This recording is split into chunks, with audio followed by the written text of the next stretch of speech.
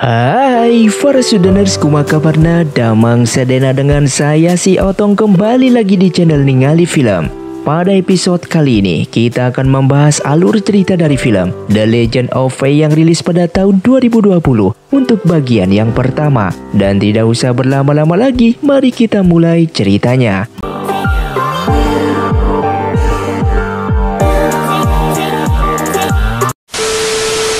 Film pun diawali dengan diperlihatkannya seorang pria yang bernama Lisiu yang merupakan pendiri sebuah klan yang bernama klan Mizua yang berada di antara pegunungan. Dan di klan Mizua tersebut terdapat banyak sekali pemuda yang ahli dalam bela diri.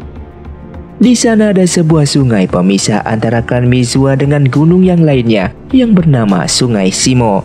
Di sisi lain, klan Nori selalu berusaha memasuki klan Mizua, namun mereka selalu tewas di tempat dan tidak mampu melewati formasi jebakan di Sungai Simo. Dengan beberapa tahun kemudian di dalam klan Mizua, seorang pria yang bernama Li Seng bisa dikatakan murid paling jago di sana, sedang berlatih melawan beberapa murid yang lainnya. Namun ia selalu kalah melawan adik sepupunya yang bernama Fei. Mereka pun bertarung satu sama lain, namun tetap saja Li Seng kalah melawan Fei.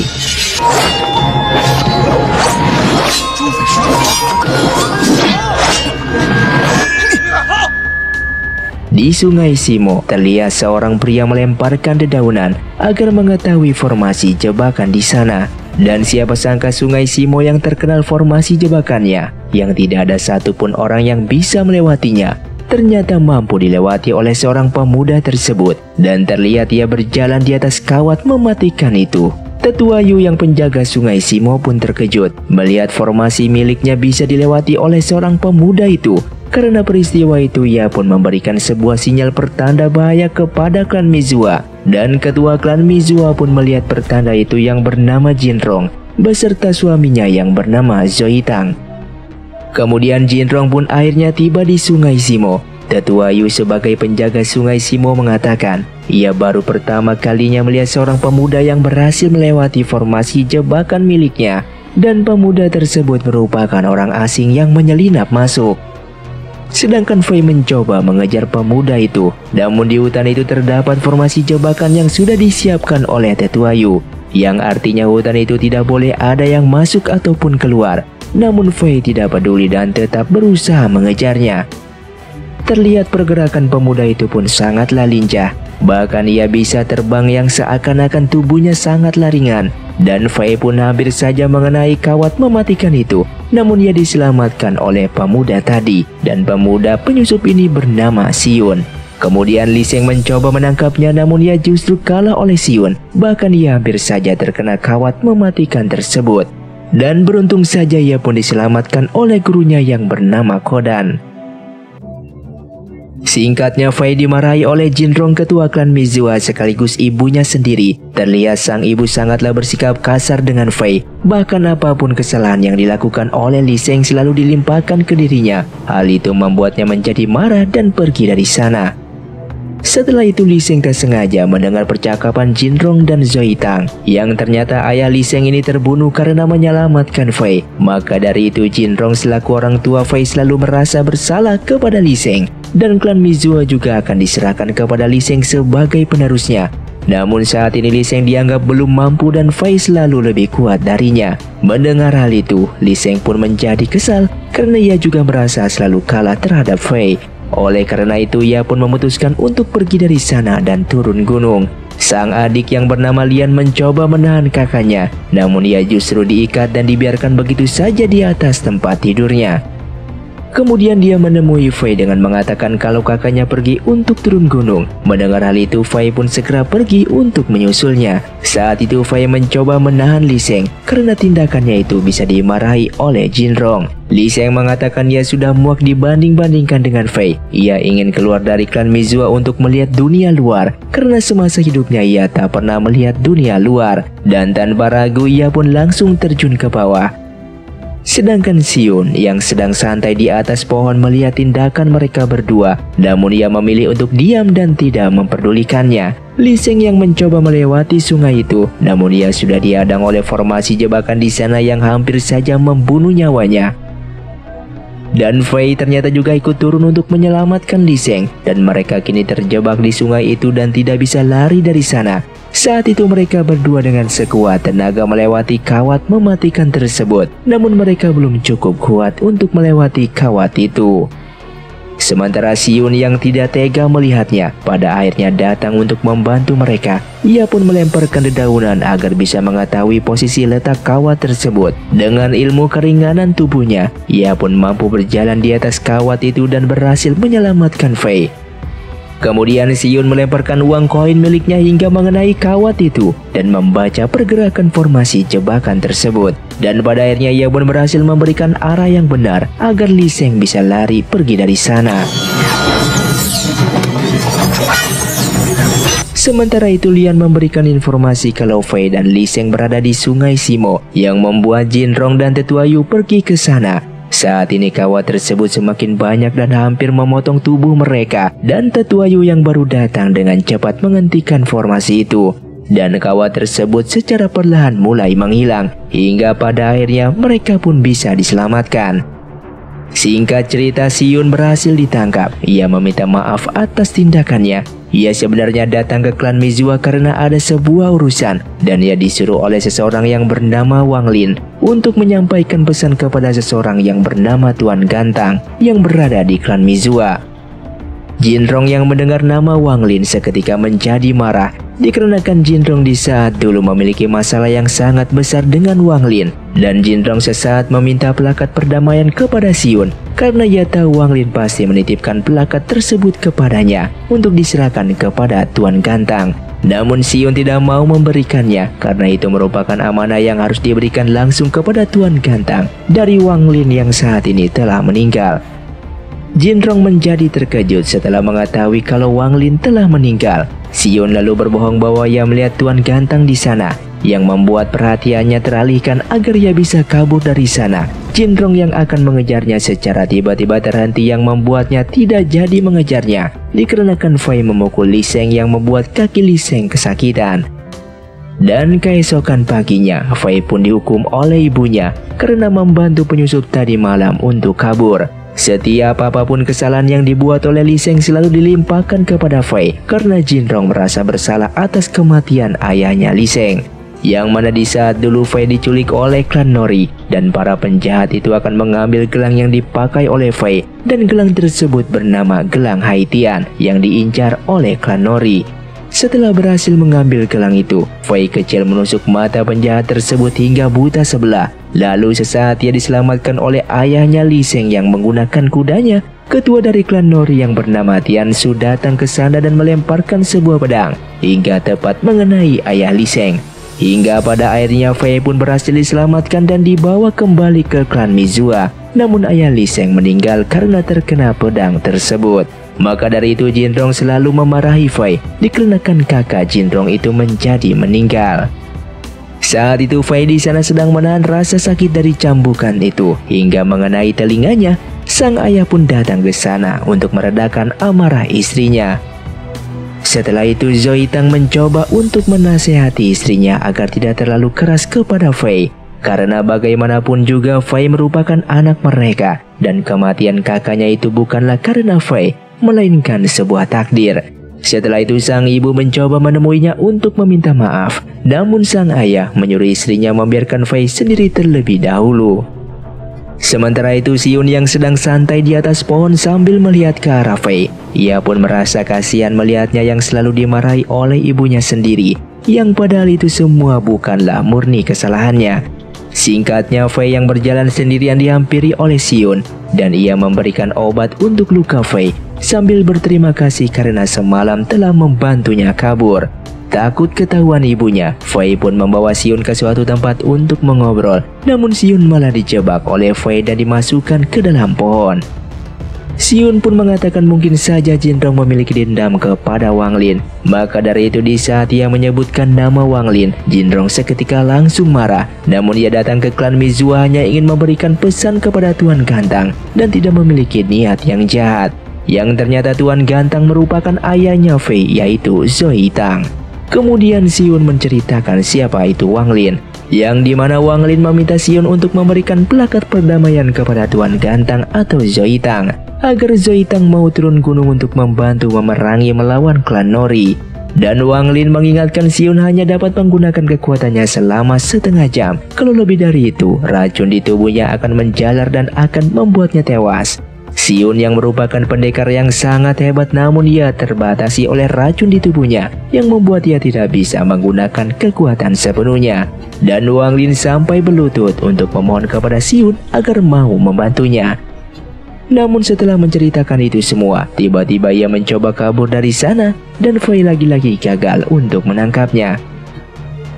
Singkat cerita Siun kembali menampakkan dirinya, seluruh prajurit dan Jinrong akan menangkapnya namun Sion mengatakan kalau ia akan memberikan belakang perdamaian itu hanya kepada Zoidang. Dan itu merupakan simbol yang apabila orang memegang pelakat tersebut akan menjadi pemimpin pasukan perdamaian. Kemudian pelakat perdamaian itu pun diberikan kepada Zoidang dan Jinrong yang melihat suaminya menerima pelakat itu pun langsung pergi dari sana. Sedangkan para pasukan perdamaian telah menunggu di bawah gunung menantikan kedatangan Zoitang untuk memimpin pasukan. Singkatnya Zoitang pada akhirnya turun gunung dan siap memimpin pasukan perdamaian. Ia pun bertemu dengan teman lamanya masa perjuangan dahulu.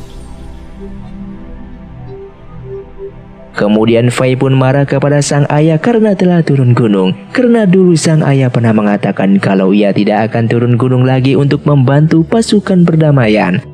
Dan Zoe Tang menyuruh temannya untuk menghentikan anaknya tersebut agar tidak mengejarnya lagi. Sehingga pertarungan pun terjadi dan di dalam pertarungan itu tiba-tiba pedang Fei menjadi patah terbelah dua.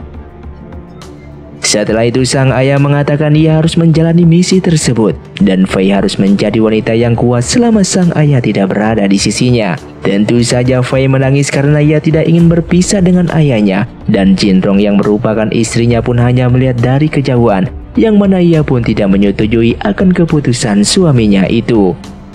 Di saat itu gerbang pun perlahan mulai tertutup dan Fei melihat sang ayah yang mulai pergi meninggalkannya. Kemudian Sion mengambil pedang milik Fei yang patah itu. Fei pun mengatakan ia menyesal membantu Sion untuk kabur kemarin karena Sion ia harus berpisah dengan ayahnya. Fei lalu menangis dan pergi dari sana, namun Sion yang hanya terdiam dan tidak bisa melakukan apa-apa. Di dalam perjalanannya, tiba-tiba Zoe Tang pun dihadang oleh klan Nori. Di sana salah satu penjahat itu pun melemparkan sebuah senjata ke arahnya yang berada di dalam kereta. Namun Jinrong ternyata datang ke sana dan berhasil untuk menyelamatkannya. Penjahat itu pun dengan mudah dikalahkannya yang membuat para penjahat pergi dari sana. Setelah berhasil membuat klan Nori mundur dari sana, Jinrong langsung meninggalkan suaminya tanpa satu kata pun dan mereka pun pada akhirnya berpisah. Di tempat lain di sebuah istana klan Nori, saat itu mereka sedang menyiksa seorang pria yang merupakan teman Zoitang yang bernama Jenderal Luo. Dan ketua klan Nori yang bernama Tiansu terlihat sangat tidak akrab dengan asistennya yang bernama Tianjin. Mereka berdua terlihat berselisih tegang satu sama lain. Di sana Tiansu menanyakan keberadaan sebuah gelang yang bernama gelang Haitian yang dimiliki oleh Jenderal Luo. Namun Jenderal Luo tidak mau mengatakan apa-apa. Di sana terlihat istri Jenderal Luo pun juga ditangkap. Tidak hanya itu istrinya juga dibunuh tepat di hadapannya, yang membuat dia menjadi murka dan marah. Sedangkan di tempat lain kedua anak Jenderal Luo yang bernama Suzu beserta adiknya sedang dibawa oleh prajurit klan Mizua untuk segera diselamatkan. Dikarenakan Jenderal Luo dan Zoe Tang merupakan sahabat sejak dulu. Dan saat itu klan Mizua sedang mengejar mereka dan Sion melihat pergerakan mereka dari atas pohon. Ia pun mengetahui kalau klan Nori sedang mengejar kedua anak tersebut yang dibawa oleh klan Mizua. Oleh karena itu ia pun datang membantu klan Mizua untuk melewati klan Nori. Setelah itu mereka berpura-pura terkena sebuah wabah penyakit dan klan Nori yang melihat mereka malah menjadi ketakutan karena takut terjangkit penyakit mereka. Alhasil mereka pun berhasil lolos dari sana. Lalu di saat mereka sedang membersihkan diri, pasukan dari benteng keluarga Ho datang ke sana dan mereka akan membantu mereka semua dikarenakan klan Mizua dan keluarga Ho merupakan bersahabat. Di sini Sion menaruh curiga terhadap prajurit itu, namun ia memilih untuk diam dan segera pergi dari sana. Di sisi lain, Fei sedang berlatih cara melewati formasi jebakan di Sungai Simo. Dan Tetua Yu yang memperhatikan dirinya dari jarak jauh. Setelah berhasil melewati beberapa rintangan, Fei pun menemui Tetua Yu. Dan Tetua Yu sangatlah bangga melihat Fei yang telah sedikit demi sedikit sudah bisa melewati formasi tersebut. Singkat cerita ujian klan Mizua pun segera dimulai. Siapa pun yang berhasil mengambil kertas merah paling atas, mereka diperbolehkan untuk melewati sungai Simo dan diizinkannya untuk turun gunung. Kemudian Liseng melawan Godan yang merupakan gurunya sendiri dan mereka pun bertarung satu sama lain untuk memperebutkan kertas merah yang berada di atas. Pada awalnya Seng hampir kalah dan akan terjatuh, namun keberuntungan memihaknya dan sengaja senjata miliknya malah tersangkut di baju guru Godan yang membuat gurunya itu tidak bisa bergerak. Ia pun memanfaatkan kesempatan itu untuk segera pergi ke atas dan berhasil mengambil kertas merah tersebut. Kini saatnya Fei yang mengikuti ujian tersebut. Ia menantang ibunya sendiri untuk bertarung dan pertarungan pun dimulai. Dikarenakan sang ibu sangatlah kuat, ia pun kewalahan untuk melawannya. Tidak hanya itu, ia juga tidak diberikan kesempatan untuk membuka pedang dari sarung pedangnya. Dan pada akhirnya, ia pun berhasil melepaskan sarung pedangnya. Namun pedangnya yang dimiliki menjadi patah kembali. Dan karena kebodohan sang ibu yang membuat pedangnya sendiri nyangkut di kayu tersebut, yang membuat Fei dengan cepat pergi ke atas dan berhasil mengambil kertas merah itu. Sehingga cerita dikarenakan Fei dan Li Sheng berhasil memenangkan ujian, mereka pun ditugaskan untuk menjemput kedua anak dari Jenderal Luo yang saat ini sedang dibawa oleh pasukan klan Mizua. Sebelum pergi, sang ibu memberikan sedikit ilmu berpedang milik klan Mizua yang sangatlah mematikan, yang bernama jurus pedang pemecah salju, karena sang ibu yakin kelak Fei bisa menjadi pendekar hebat sama seperti dirinya. Singkat cerita, Fei dan Li Sheng beserta nenek buyut mereka pergi turun gunung untuk menjemput kedua anak dari Jenderal Luo. Di lain sisi, Sion yang memperhatikan keluarga Ho yang memperlakukan pasukan klan Mizua secara aneh. Ia pun curiga kalau keluarga Ho sedang merencanakan sesuatu. Dan rupanya kecurigaan Sion pun ternyata benar. Pasukan klan Mizua menjadi pingsan setelah memakan makanan yang diberikan oleh pasukan keluarga Ho. Setelah itu pasukan klan Mizua terlihat dibawa ke penjara dalam tanah dan Sion pun mengikuti dari belakang yang ternyata pemimpin keluarga Ho saat ini telah sakit dan digantikan oleh adiknya yang jahat yang bernama Holian. Dan Holian sangat tak suka hubungan mereka dengan klan Mizua, maka dari itu ia menangkapnya. Sedangkan Fei dan pasukannya yang berada di tengah perjalanan untuk beristirahat di sebuah desa. Namun mereka tiba-tiba diserang oleh para penduduk desa karena mengira mereka berasal dari keluarga Ho. Dari sinilah kebenaran mulai terungkap. Mereka pada akhirnya tahu kalau keluarga Ho sudah dipimpin oleh Ulian yang terkenal sangatlah jahat. Si nenek buyut mengatakan kalau mereka berasal dari klan Mizua, bukan dari keluarga Ho. Tak lama kemudian, pasukan keluarga Hu pun datang ke sana dan terlihat mereka seperti berandalan yang menyiksa para penduduk. Si nenek buyut dan Fei pun menghadapi mereka. Dan di saat para berandalan itu akan menyerang si nenek, Fei dengan cepat menyerang mereka dengan jurus pedang pemecah salju yang sudah diajarkan oleh ibunya sebelumnya, yang membuat para berandalan dari keluarga Hu ini tewas di tempat. Para penduduk akhirnya disuruh untuk pergi ke klan Mizua agar di sana mereka semua bisa aman. Si nenek buyut sangatlah bangga melihat kemajuan bela diri Fei. Li Sheng yang melihat itu pun merasa cemburu sosial karena ia seperti tidak pernah dianggap. Yang padahal jauh di dalam lubuk hatinya ia juga ingin menjadi pendekar yang paling terkuat. Di saat malam hari, Li Sheng pergi meninggalkan pasukannya dan Fei yang melihatnya pun dengan cepat mengejarnya. Namun ternyata Fai salah arah dan terus saja mengejar ke arah yang salah. Alasan Liseng melakukan semuanya ini karena ia ingin membuktikan kekuatan miliknya kalau ia juga sanggup melakukan apa pun yang dilakukan oleh Fei. Dan ia pun pergi seorang diri untuk menyelamatkan kedua anak dari Jenderal Luo.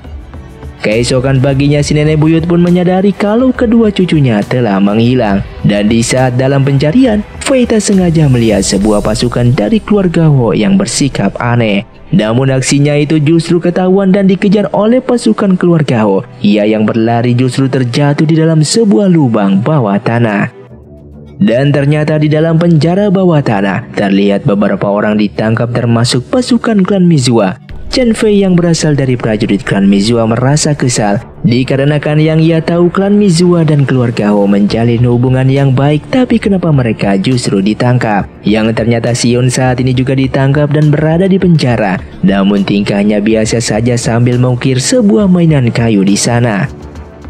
Sedangkan Fei yang sudah sadar menemukan sebuah celah lubang dan lubang itu pun penghubung ke dalam penjara milik Sion. Mereka berdua pun pada akhirnya bertemu kembali, namun pertemuan mereka selalu dalam bahaya. Saat itu Fei mengatakan jika ia sudah tidak mempermasalahkan ayahnya pergi lagi. Ia pun sadar apa yang dilakukan ayahnya itu demi kebaikan klan Mizua dan Sion pun mengatakan kalau klan Mizua sudah dipenjara oleh keluarga Ho dan Fei pun harus segera menyelamatkannya. Kemudian Siun menggambarkan sebuah peta di atas batu. Peta itu merupakan dana masuk dalam penjara tersebut, sehingga Fei bisa menyelamatkan mereka. Terlihat Fei dengan cepat keluar dari sana dan berniat masuk ke dalam penjara bawah tanah. Dan tiba-tiba ia sudah berada di depan Siun. Tentu saja Siun sangatlah terkejut melihat Fei dengan santainya masuk ke sana. Ia pun membuka borgol itu dengan jepit rambut miliknya. Dan Fei seketika menjadi marah kepadanya karena ia tahu Siun bisa keluar masuk dengan bebas. Siun mengatakan kalau ia beserta penghuni penjara sudah terkena racun dari makanan yang diberikan oleh para penjaga di sana, yang di mana racun tersebut melemahkan aliran chi mereka sehingga mustahil bisa keluar dari penjara. Dan sebelum Fei pergi, Sion pun mengatakan kalau ia ingin bertemu dengannya lagi karena ia akan memberikan sebuah hadiah berupa pedang karena sebelumnya pedang milik Fei telah patah. Ia pun memberikan sebuah mainan pedang dari kayu yang menyerupai pedang milik Fei dan Fei pun menjadi terkesima melihat kebaikan Sion. Singkatnya, Fei lalu pergi ke dapur tempat pembuatan bahan makanan. Ia pun mencoba mencari obat penawar supaya bisa mengembalikan kekuatan orang-orang yang ditahan di dalam penjara. Setelah berhasil membuat pria gemuk di sana pingsan, ia pun mencari obat penawar tersebut. Setelah mendapatkan apa yang ia cari, ia pun kembali menemui Siun. Satu persatu obat penawar itu pun dicek, namun tidak ada satu pun yang benar. Dan Sion mengatakan semuanya itu bukanlah obat penawar. Sedangkan saat itu para penjaga merasa ketakutan karena saat ini klan Nori telah menyerang penjara mereka. Melihat kegaduhan itu, Siun dan Fei bergegas keluar untuk mencari obat penawar terlebih dahulu. Mereka pun memasuki sebuah ruangan dan berhasil menemukan obat yang mereka cari. Namun saat itu Siun menemukan alat peledak di lantai. Dan ia pun pada akhirnya sadar kalau Holian akan meledakkan penjara tersebut agar bisa membunuh klan Nori yang datang nantinya. Kemudian mereka mulai menyelamatkan tahanan di penjara dan memberikan obat penawar itu ke mereka. Sion meminta berpisah dan menyuruh Fei untuk segera menyelamatkan klan Mizua, sedangkan ia akan menghentikan para penjaga. Mendengar hal itu, Fei menjadi marah karena ia mau Sion ikut bersamanya dan tidak mau berpisah. Hingga pada akhirnya Sion mendengar perkataannya dan mereka berdua tetap bersama. Di waktu bersamaan, Holian pun menjadi bingung kenapa klan Nori telah menyerang mereka. Sedangkan di dalam penjara ada seorang kakek tua yang juga mereka selamatkan. Siun memberikan obat penawar tersebut kepada kakek tua itu dan membebaskannya. Hingga akhirnya klan Mizua dan kedua anak jenderal berhasil diselamatkan. Mereka pun kabur bersama dari penjara tersebut. Sedangkan Tiansu yang merupakan ketua klan Nori yang telah masuk ke dalam penjara bawah tanah tak sengaja bertemu dengan seorang banci yang ternyata banci itu merupakan pemilik penjara tersebut. Banci ini tak suka melihat klan Nori masuk ke dalam kawasan miliknya Alhasil mereka pun saling bertarung satu sama lain dan pertarungan sengit pun terjadi di antara mereka berdua. Di lain sisi Holian menyalakan api untuk meledakkan bom di penjara itu dan salah satu pria dari klan Nori pun melihatnya. Ia pun mencoba memadamkan api tersebut. Namun bukan makin padam, api itu malah makin membesar. Sedangkan Tiansu mengeluarkan jurus andalannya dan berhasil mengalahkan Banji tersebut. Dan pria tadi memberitahukan kepada Tiansu kalau penjara itu sebentar lagi akan meledak. Mendengar hal itu Tiansu dengan cepat pergi dari sana dan penjara itu pun meledak yang menghancurkan segala isi di dalamnya. Dan ternyata yang dicari oleh klan Nori saat ini merupakan kedua anak dari Jenderal Luo yang ternyata membawa sebuah barang yang bernama gelang Haitian yang dicari oleh mereka dan Tianjin menyuruh pasukannya untuk mencari kedua anak itu berada.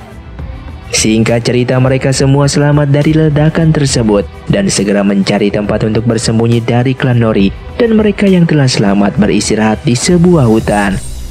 Saat itu Fai menemui Suzu dan mereka berbincang satu sama lain. Suzu merasa tak enak karena telah menyusahkan klan Mizua untuk membantunya agar selamat. Fai pun mengatakan itu semua merupakan bagian dari tanggung jawab mereka sebagai seorang pendekar.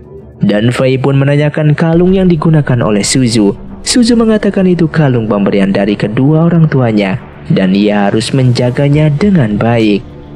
Melihat kalung itu, Fei juga mengambil pedang kayu mainan yang diberikan oleh Siun kemarin. Ia pun menggunakannya sebagai kalung. Siun yang melihat dari kejauhan melihat Fei menggunakan mainan pedang pemberiannya sebagai kalung dan Siun pun malah menjadi salah tingkah. Setelah itu Siun kembali menemui Fei yang sedang sendirian. Dari sinilah mereka berdua semakin lama semakin akrab satu sama lain. Dan Fei pun menanyakan kembali mengenai identitasnya. Namun Siun lagi-lagi tidak mau memberitahukan identitas aslinya. Keesokan harinya mereka pun akan berangkat melanjutkan perjalanan. Namun kakek tua itu izin pamit dengan memberikan sebuah gulungan kepada Fei. Dan Fei tidak mengetahui kegunaan gulungan tersebut. Sedangkan klan Mizua akan melanjutkan perjalanan. Namun saat ini Siun pun tidak tahu harus ke mana. Karena setelah ia memberikan pelakat perdamaian kepada Zoitang, ia sudah tidak memiliki tujuan lagi. Dan Chen Fei pun mengajaknya untuk pergi ke klan Mizua dan ikut bersama mereka. Tentu saja Sion merasa sangatlah senang karena masih bisa ikut bersama mereka. Dan Fei juga tidak keberatan mengajak Sion untuk bersamanya. Singkat cerita mereka memasuki sebuah kota yang bernama Kota Warong, yang di mana Chen Fei mengenal orang yang memiliki penginapan di sana, dan mereka akan beristirahat sejenak di kota tersebut.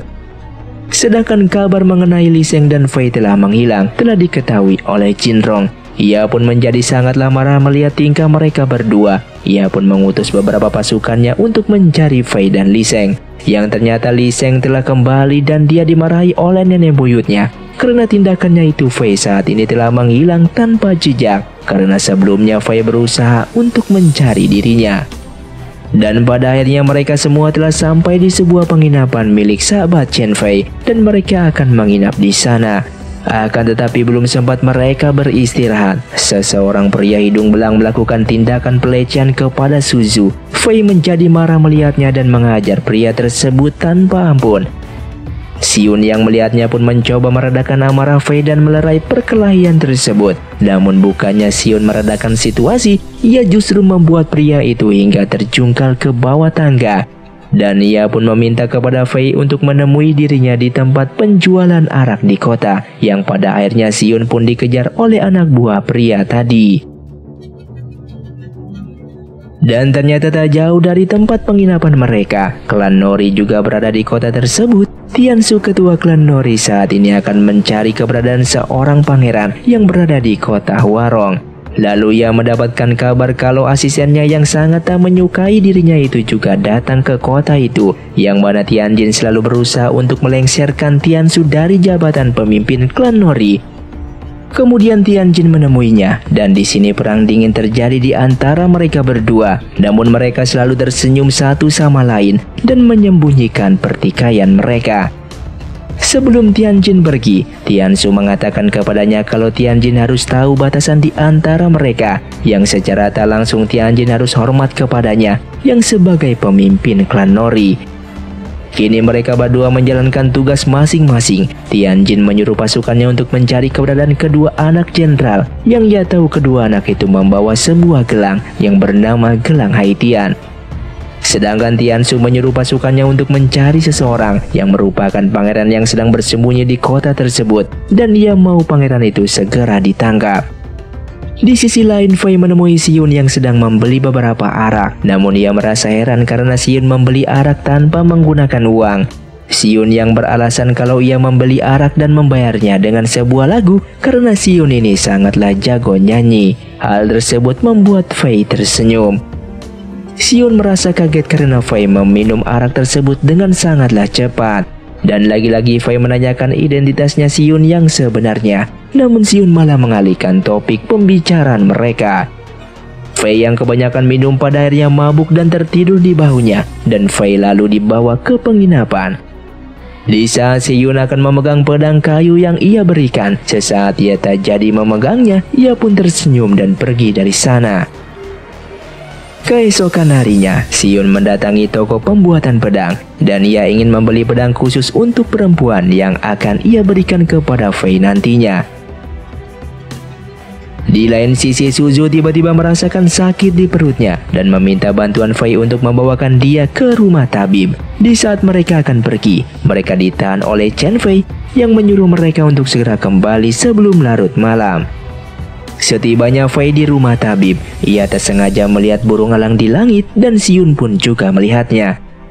Kini mereka menyadari kalau burung itu dimiliki oleh Tianji dari klan Nori dan tiba-tiba para penduduk desa berlari ketakutan karena klan Nori telah datang ke desa mereka.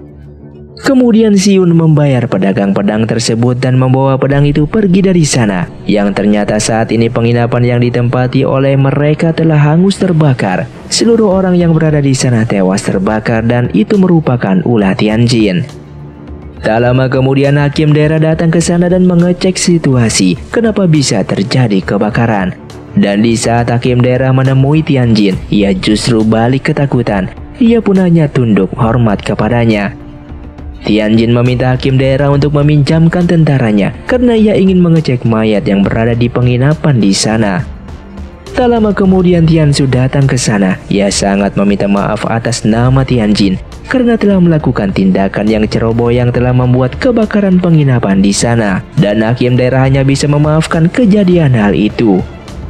Saat itu para korban satu persatu mulai dikeluarkan dan mereka melihat Chen Fei beserta adik dari Suju telah tewas di sana. Suzu akhirnya tersanggup menahan air mata melihat adiknya telah tewas. Begitu juga dengan Fei yang bersedih melihat teman-temannya telah tewas.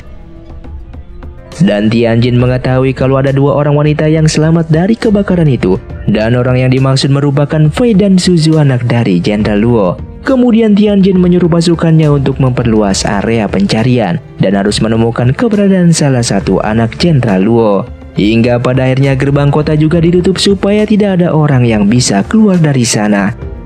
Dan dikarenakan keberadaan mereka sedang dicari, Fei menyuruh Suju untuk sembunyi di sana. Hingga keberadaan mereka hampir saja ketahuan. Fei dengan sigap membunuh penjahat tersebut dan mengambil bajunya untuk menyamar menjadi pasukan klan Nori. Dan lagi-lagi Tiansu menjadi murka dengan Tianjin yang bertindak senaknya tanpa perintah dirinya. Tiansu akhirnya membiarkan apa yang akan dilakukan oleh Tianjin dan saat ini ia pun tak memperdulikannya. Karena yang terpenting saat ini ia sedang mencari keberadaan seorang pangeran yang sedang bersembunyi di kota tersebut. Film pun dilanjutkan dengan Fei yang kembali menemui Suzu. Ia memberikan pakaian milik klan Nori dan mereka berdua mencoba untuk menyamar. Sedangkan Sion sedang bertemu dengan seorang pria yang bernama Bei dan ia juga dibawa ke suatu rumah. Di sana ia bertemu dengan seorang pangeran yang bernama Zichen. Orang inilah yang sedang dicari oleh Tiansu dan Zichen memanggil Sion dengan sebutan kakak angkat. Saat itu Sion berusaha pergi dari sana untuk mencari teman-temannya, namun dihentikan oleh Zichen karena ia mengatakan saat ini Sion masih terkena racun dan belum bisa mengeluarkan kekuatannya. Hal itu sangatlah berbahaya apabila Sion bertemu dengan klan Nori. Maka dari itu Zichen mengutus para pengawalnya untuk mencari teman-teman Sion di luar sana. Sedangkan salah satu sahabat Chen Fei yang memiliki penginapan ternyata telah berkhianat. Ia sengaja membakar penginapannya sendiri agar bisa membunuh kedua anak Jenderal Luo yang sudah disuruh oleh Tianjin. Namun salah satu anak dari Jenderal Luo yang seorang perempuan berhasil selamat. Pengkhianat itu pun mengatakan kalau dia diselamatkan oleh seorang wanita yang bernama Fei yang merupakan anak ketua dari klan Mizua. Dan Tianjin hanya tertawa mengetahui informasi tersebut. Kembali ke Zichen yang meminta Siun untuk pulang karena sudah bertahun-tahun Siun berkelana dan tidak pernah pulang. Belum sempat Siun menjawabnya, Bei pun datang ke sana. Ia pun membawa sebuah barang dari tempat penginapan yang sudah terbakar. Siun melihat beberapa barang milik Fei yang sudah hangus terbakar. Setelah dicari dengan benar, ia pun menyadari kalau Tianjin bukanlah mencari seseorang, melainkan mencari sebuah barang. Sesaat ia memikirkan sebuah barang yaitu berupa gelang yang bernama gelang Haitian yang dulu sempat dipakai oleh Fei masih kecil. Singkatnya Siun dan Bei pergi keluar untuk mengecek keadaan yang ternyata saat ini Tiansu dan Tianjin telah mendominasi kota tersebut. Siun mengatakan kalau saat ini Tiansu dan Tianjin saling jaga jarak dan tidak ada komunikasi satu sama lain. Ia pun memastikan kalau mereka berdua saat ini pasti sedang berselisih satu sama lain. Lalu klan Nori membawa Chen Fei naik ke atas panggung dan akan dibunuh di depan umum. Yang mana saat ini Chen Fei dituduh sebagai penjahat yang melakukan kebakaran di penginapan kemarin. Siun yang melihat itu pun semua menjadi geram. Ia pun akan menyerang namun dihentikan oleh Bei dan menyuruhnya untuk bersabar. Sedangkan Chen Fei menjadi murka melihat sahabatnya sendiri menjadi pengkhianat yang mengkhianati dirinya. Dan Siun lagi-lagi akan menyelamatkan Chen Fei, namun ia ditahan oleh Bei karena temannya itu terlihat sudah sekarat. Apabila diselamatkan, belum tentu juga akan hidup. Bei tiba-tiba mengambil sebuah batu dan menembak tepat di kepala Chen Fei hingga tewas. Saat itu klan Nori menjadi heran melihat Chen Fei yang tiba-tiba tewas di tempat. Mereka pun melihat area sekitar dan mencari pembunuh tersebut. Lalu Siun dibawa pergi dari sana dan Bei meminta maaf atas perbuatannya. Ia terpaksa melakukan itu karena kasihan melihat Chen Fei yang telah disiksa. Siun yang geram tidak bisa berbuat apa-apa melihat Chen Fei yang telah tewas.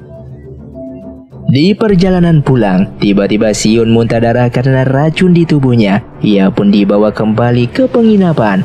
Dan Bei berlutut meminta maaf karena telah membunuh salah satu teman Siun. Ia melakukan itu karena tidak tega teman Siun disiksa oleh klan Nori. Zichen yang mendengar hal itu juga meminta maaf atas nama Bei kepada Siun.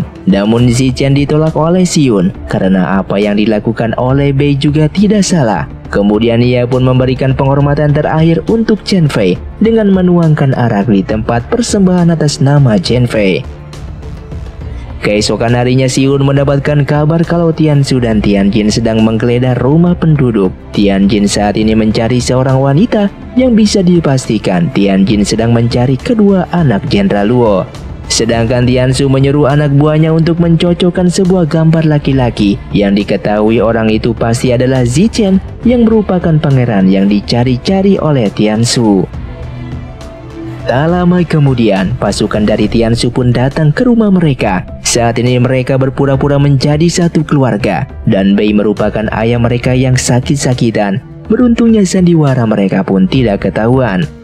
Di saat pasukan tersebut akan pergi, Zichen yang bersembunyi di balik dinding malah bersin. Tentu saja hal itu membuat kecurigaan. Syukurnya Siun pandai berakting dan berpura-pura sakit, dan sakit itu bisa menyebarkan virus. Para pasukan mendengar hal itu pun malah lari dari sana karena takut ketularan virus tersebut. Sehingga akting mereka pun akhirnya berhasil dan menyelamatkan nyawa Zichen. Di lain tempat, Fei dan Suzu sedang bersembunyi di salah satu rumah milik istri kedua hakim daerah. Di saat akan pergi, mereka bertemu dengan seorang wanita, dan wanita ini merupakan istri kedua hakim daerah. Namun wanita tersebut seperti sakit jiwa. Terlihat ia ngomong ngelantur kepada Fei, bahkan dia juga tersenyum tidak jelas dengan mengatakan kalau Fei dan Suzu mau keluar dari rumah itu, mereka harus bisa mengalahkannya terlebih dahulu. Sesaat ia juga tahu kalau Fei menguasai ilmu berpedang pemecah salju dan ia mengatakan bisa mengalahkan jurus tersebut. Setelah ngomong dengan tidak jelas, wanita itu pun pergi dari sana sambil tersenyum.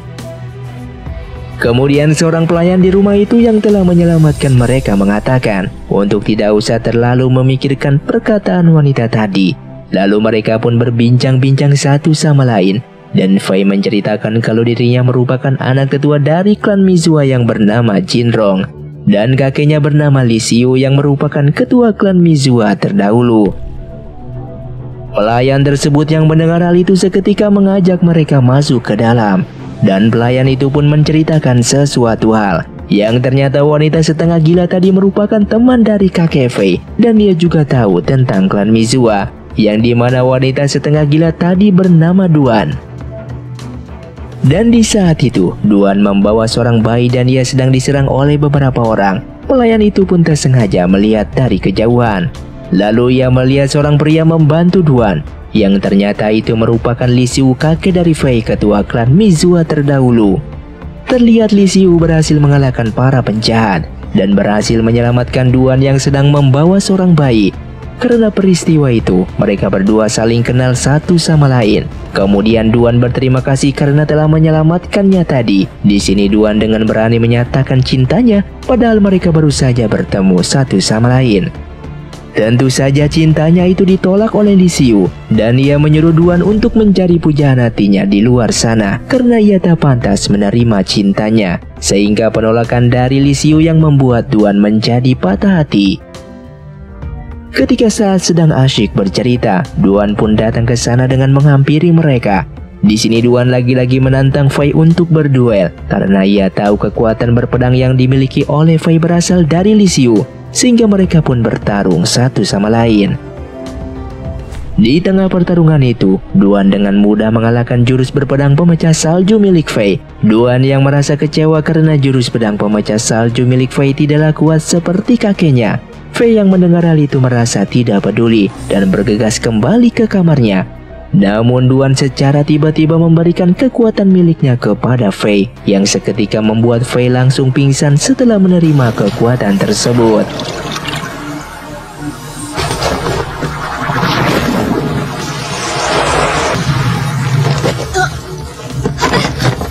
Yang ternyata Duan memberikan sebuah kekuatan yang bernama kekuatan kurong yang sangatlah hebat. Namun tubuh Fei belum siap menerima kekuatan sebesar itu yang membuatnya tubuhnya menjadi lemah. Suzu menjadi marah kepada Duan karena main seenaknya memberikan kekuatan kepada orang lain. Duan dengan mengatakan kekuatan kurang sudah ia berikan. Hidup dan mati tergantung kepada Fei sendiri. Kalau Fei tidak mampu menerimanya, maka Fei akan tewas di sana. Di lain tempat, ternyata saat ini salah satu pelayan Siun yang bernama Zi telah berhasil menjadi salah satu prajurit klan Nori. Saat ini ia sedang menjadi mata-mata untuk mengetahui pergerakan klan Nori. Siun lalu memberikan dia sebuah misi, yaitu membunuh salah satu prajurit yang dimiliki oleh Tiansu. Setelah berhasil, ia pun mengambil baju salah satu prajurit klan Nori untuk menyamar.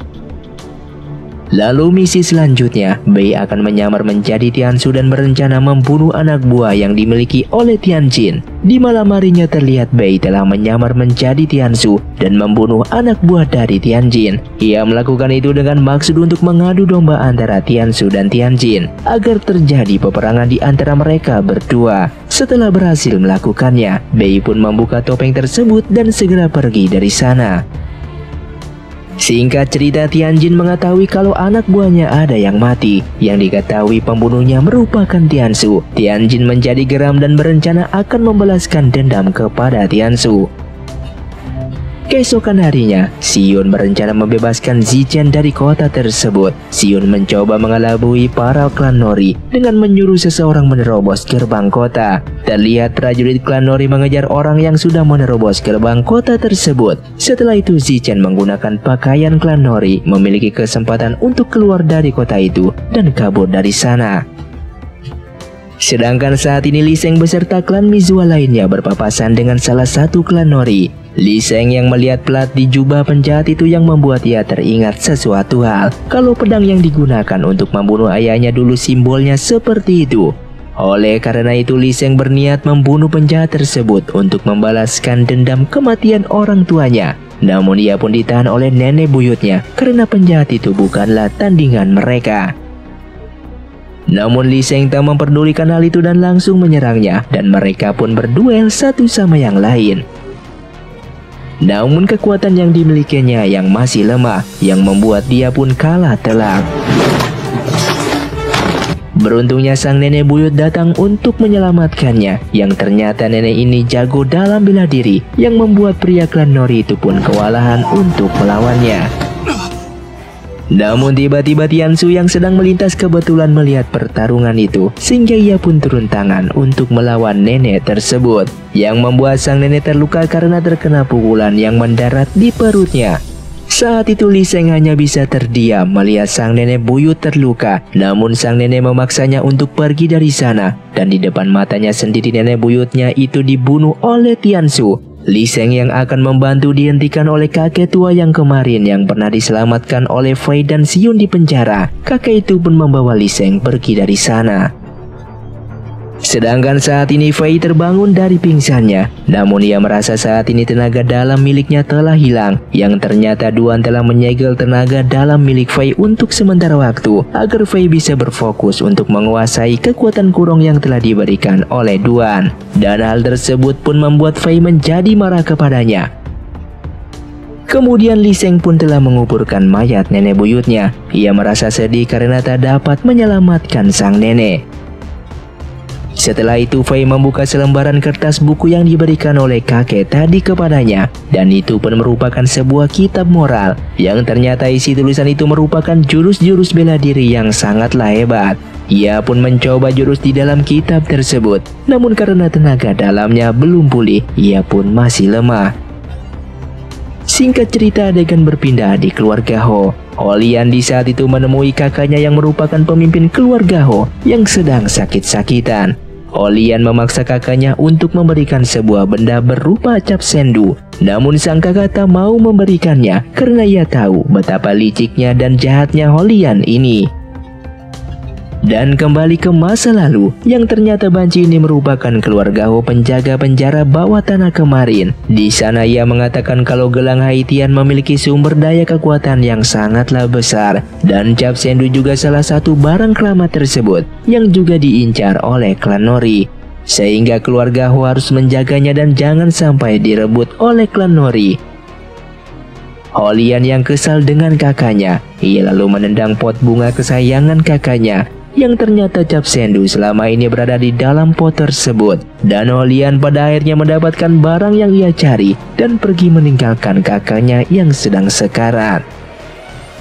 Tak lama kemudian, Li Seng dan kakek tua tadi datang ke sana. Kakek tua itu mencoba untuk menyelamatkannya. Namun pria itu yang merupakan pemimpin keluarga Ho yang asli seketika meninggal di tempat. Di sisi lain, Tiansu mendapatkan kabar kalau beberapa prajurit miliknya telah tewas dibunuh oleh Tianjin. Dan pada akhirnya misi adu domba yang dilakukan oleh Yun ternyata berhasil. Tiansu seketika menjadi murka dengan Tianjin. Sedangkan Suzu yang keluar tak sengaja bertemu dengan pria yang kemarin sempat ingin melecehkannya. Dan ternyata pria gemuk itu merupakan anak dari hakim daerah. Ia pun dengan cepat lari dari sana. Dan Tianjin saat ini pergi mengecek rumah hakim daerah karena rumah hakim daerah yang belum dicek. Mereka pun menemukan jejak salah satu anak dari Jenderal Luo, yaitu Suzu. Suzu yang menyamar menggunakan baju pelayan milik klan Nori berada di sana. Ia pun menyamar menjadi salah satu pelayan hakim daerah di rumah tersebut. Kemudian anak dari hakim daerah yang bernama Yozo memberitahukan keberadaan Suju saat ini kepada Tianjin. Mereka pun segera pergi ke sebuah toko tempat Suju saat ini berada. Terlihat Suzu berada di toko jahit dan akan mengambil kain karena ia tahu dirinya sedang dikejar. Ia pun pergi lewat belakang toko untuk kabur. Dan Suzu melihat seorang wanita yang wajahnya mirip dengannya yang dikejar oleh klan Nori. Ia pun menyadari kalau Siun pasti berusaha untuk menyelamatkannya. Dan Yozo yang kembali ke rumah tak sengaja melihat Fei yang berada di sana. Lalu ia berencana melapor kepada klan Nori, namun ia dibuat pingsan oleh Duan. Singkat cerita Siun menggunakan pakaian klan Nori untuk menemui Suzu. Namun Suzu tiba-tiba dibawa pergi oleh Duan dan Siun pun mengejarnya. Saat itu Duan akan menyerangnya, namun dihentikan oleh Suzu sambil mengatakan kalau Siun merupakan temannya. Hingga pada akhirnya Siun pun berhasil menemui Fei. Namun Fei di sana masih terlihat lemah dan tubuhnya sulit untuk digerakkan. Suzu mengatakan kalau wanita gila di sana yang telah membuat Fei menjadi seperti itu. Tak lama kemudian, pelayan pun datang ke sana dengan mengabarkan kalau pria gemuk tadi telah memberitahukan posisi mereka saat ini kepada klan Nori. Mendengar hal itu mereka semua dengan cepat pergi dari sana. Di perjalanan, Duan menyuruh mereka untuk segera pergi, sedangkan ia akan menghentikan klan Nori.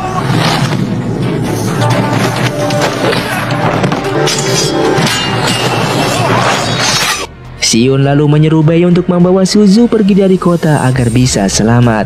Suzu yang akan pergi lalu ditahan oleh Fei karena Fei meminta kalung yang dipakai oleh Suzu untuk diberikan kepadanya. Dikarenakan mungkin saja saat ini Tianjin sedang mengincar kalung tersebut dan Suzu lalu memberikan kalung itu kepadanya.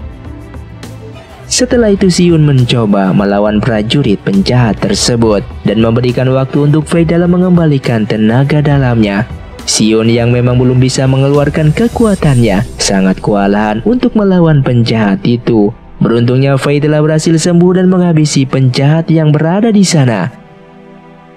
Setelah itu Sion pun memberikan pedang tersebut kepada Fei yang di mana pedang itu memang ia belikan untuk Fei. Di sisi lain pertarungan antara Duan dan Tianjin sedang berlangsung sangatlah sengit dan Tianjin begitu mudah dikalahkannya. Fei yang baru datang ke sana lalu menyerang Tianjin karena ia dendam kepadanya yang telah membunuh teman-temannya di penginapan kemarin. Dan lagi-lagi Tianjin dengan mudah dikalahkannya yang membuat dia lari dari sana. Tentu saja Fei tidak akan melepaskannya dengan tendangan terbang mendarat tepat di punggung Tianjin yang membuat dia terpental. Ia pun mencoba meminta bantuan kepada prajurit di sana, namun mereka semua tidak ada yang mau membantunya setelah Tianjin lihat, ternyata mereka semua prajurit dari Tiansu. Tentu saja mereka semua tidak mau membantu Tianjin. Karena tak ada jalan lain, Tianjin pun pada akhirnya terpojok dan memohon kepada Fei untuk tidak membunuhnya. Namun Fei yang sudah menaruh dendam dengan beringas membunuh Tianjin hingga tewas. Setelah itu Fei pun seketika langsung pingsan karena tenaga dalamnya telah habis.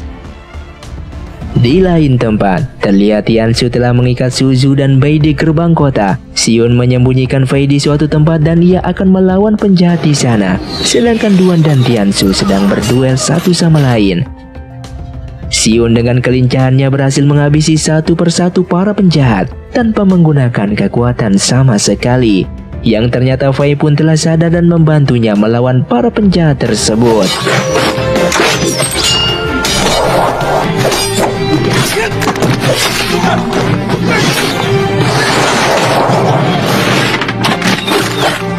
Suzu dan Bai pada akhirnya berhasil diselamatkan dan menyuruh mereka berdua untuk segera pergi dari sana. Karena dua ini sangatlah kuat, Tiansu pemimpin klan Nori pun ternyata kalah melawannya. Lalu terlihat Tiansu kembali menyerang dan mereka pun bertarung lagi sehingga Duan pun berhasil melepaskan tangan palsu milik Tianzu yang ternyata tangan sebelahnya telah cacat. Namun Tianzu berhasil memukul Duan dengan tangan kirinya hingga Duan pun terlempar.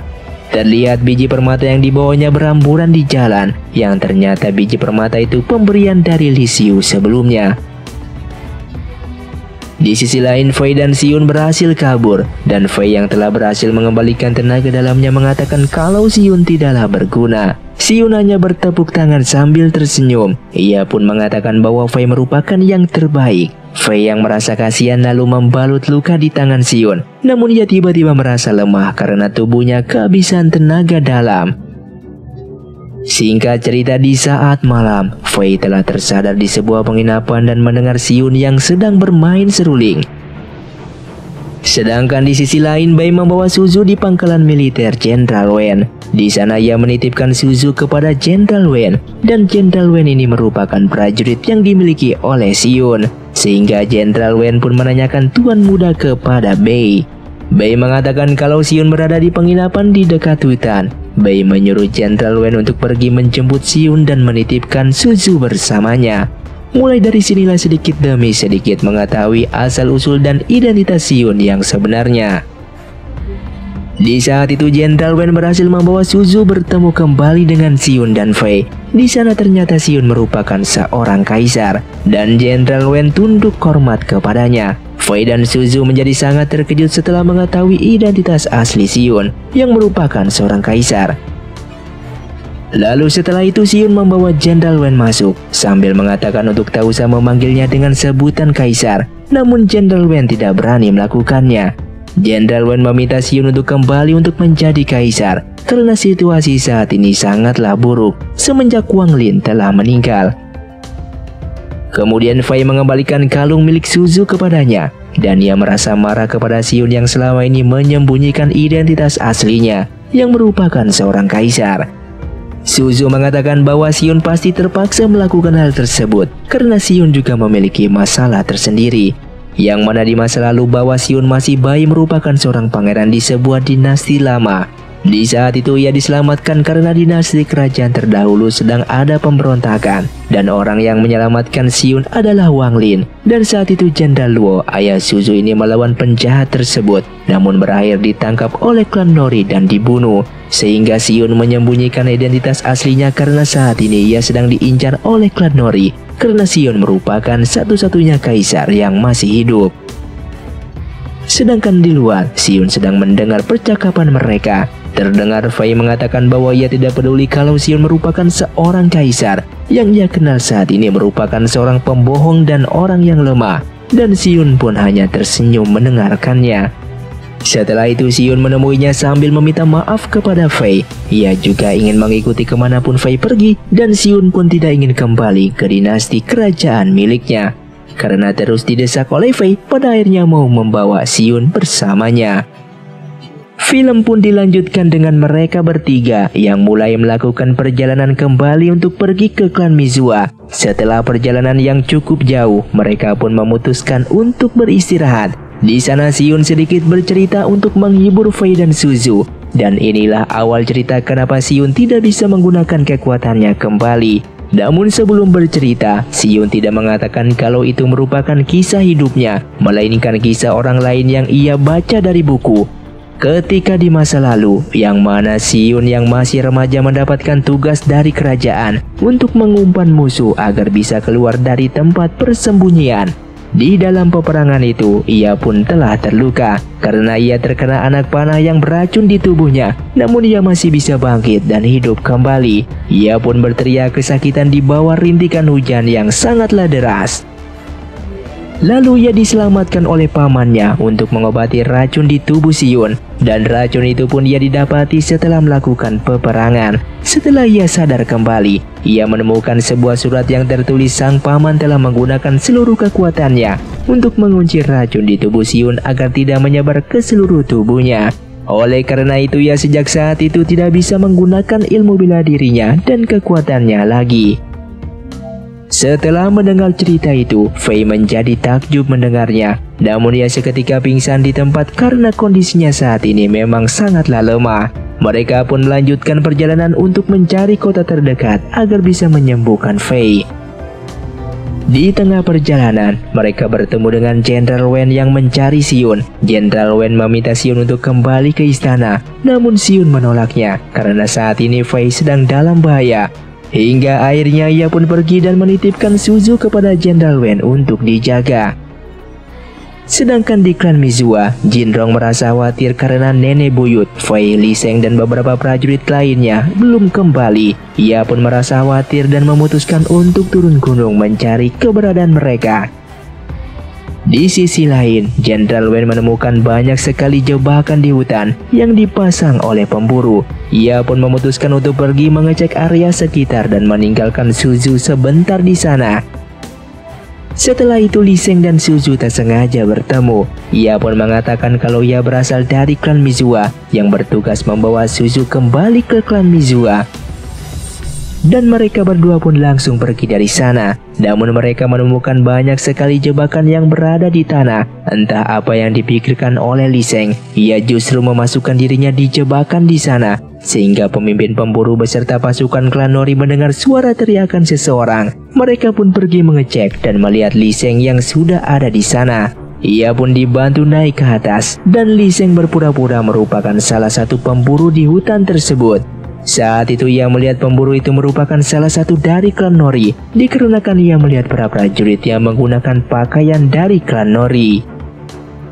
Dikarenakan Li Seng dianggap seorang pemburu, ia pun dibebaskan. sehingga mereka bertiga pun bertemu kembali dan Lee Seng mengatakan kalau ia merupakan anggota dari klan Mizua sekaligus keponakan dari Jinrong ketua klan Mizua dan tentu saja Jenderal Wen pun terkejut melihatnya.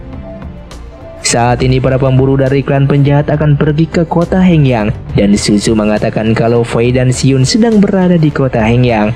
Mendengar hal tersebut, Suzu pun akan dibawa ke klan Mizua dan Jenderal Wen akan pergi ke kota Hengyang untuk menyelamatkan Xiun dan Fei. Sedangkan di kota Hengyang, saat ini Xiun membawa Fei ke sebuah penginapan agar bisa mencari tabib untuk mengobatinya.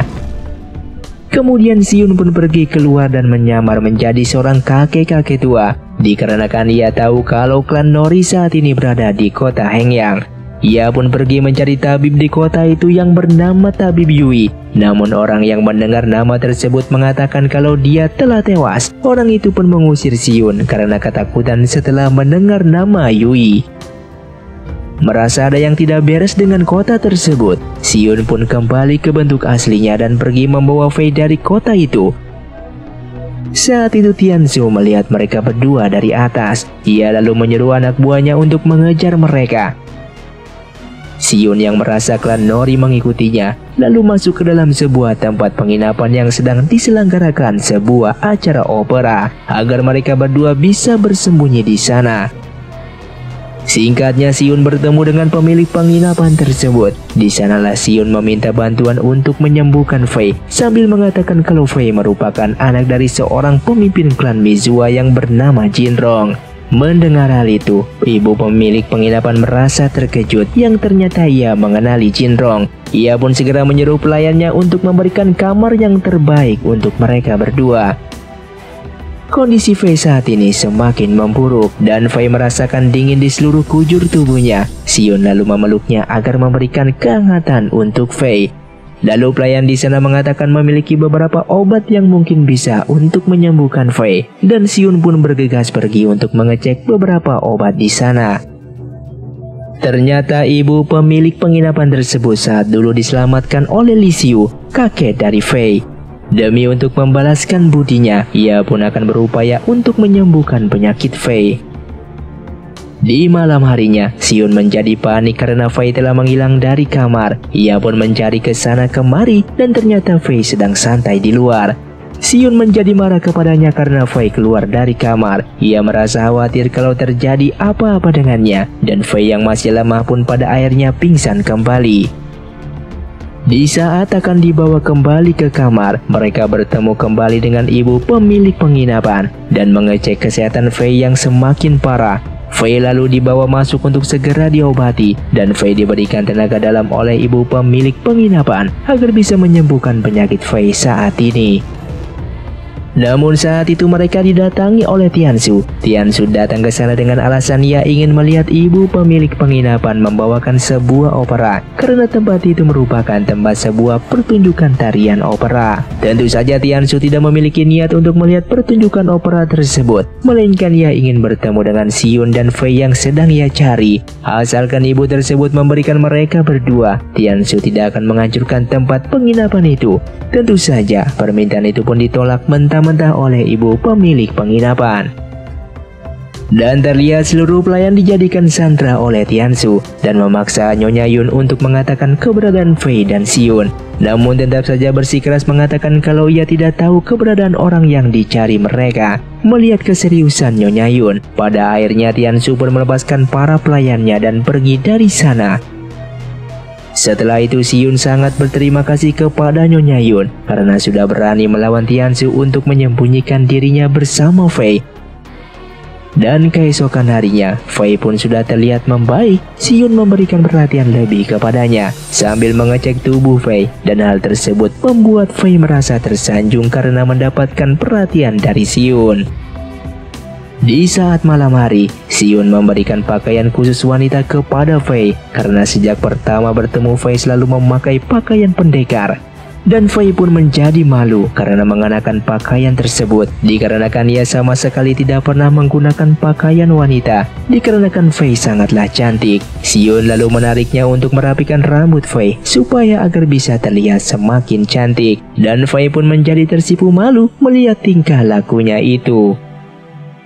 Kembali ke mereka berdua, di saat mereka sedang makan, mereka mendengar para pengunjung membicarakan Fei. Berita mengenai Fei pendekar yang berhasil membunuh Tianjin telah tersebar luas. Mereka semua menganggap Fei sangatlah kuat, namun di sisi lain mereka menganggap Fei merupakan orang tua. Mustahil seorang anak muda bisa mengalahkan salah satu petinggi klan Nori. Tanpa mereka semua sadari, Fei pun berada di sana. Dan Sion seketika tertawa mendengar cerita dari pengunjung tersebut, sehingga Fei hanya bisa kesal dan meninggalkan kedai itu.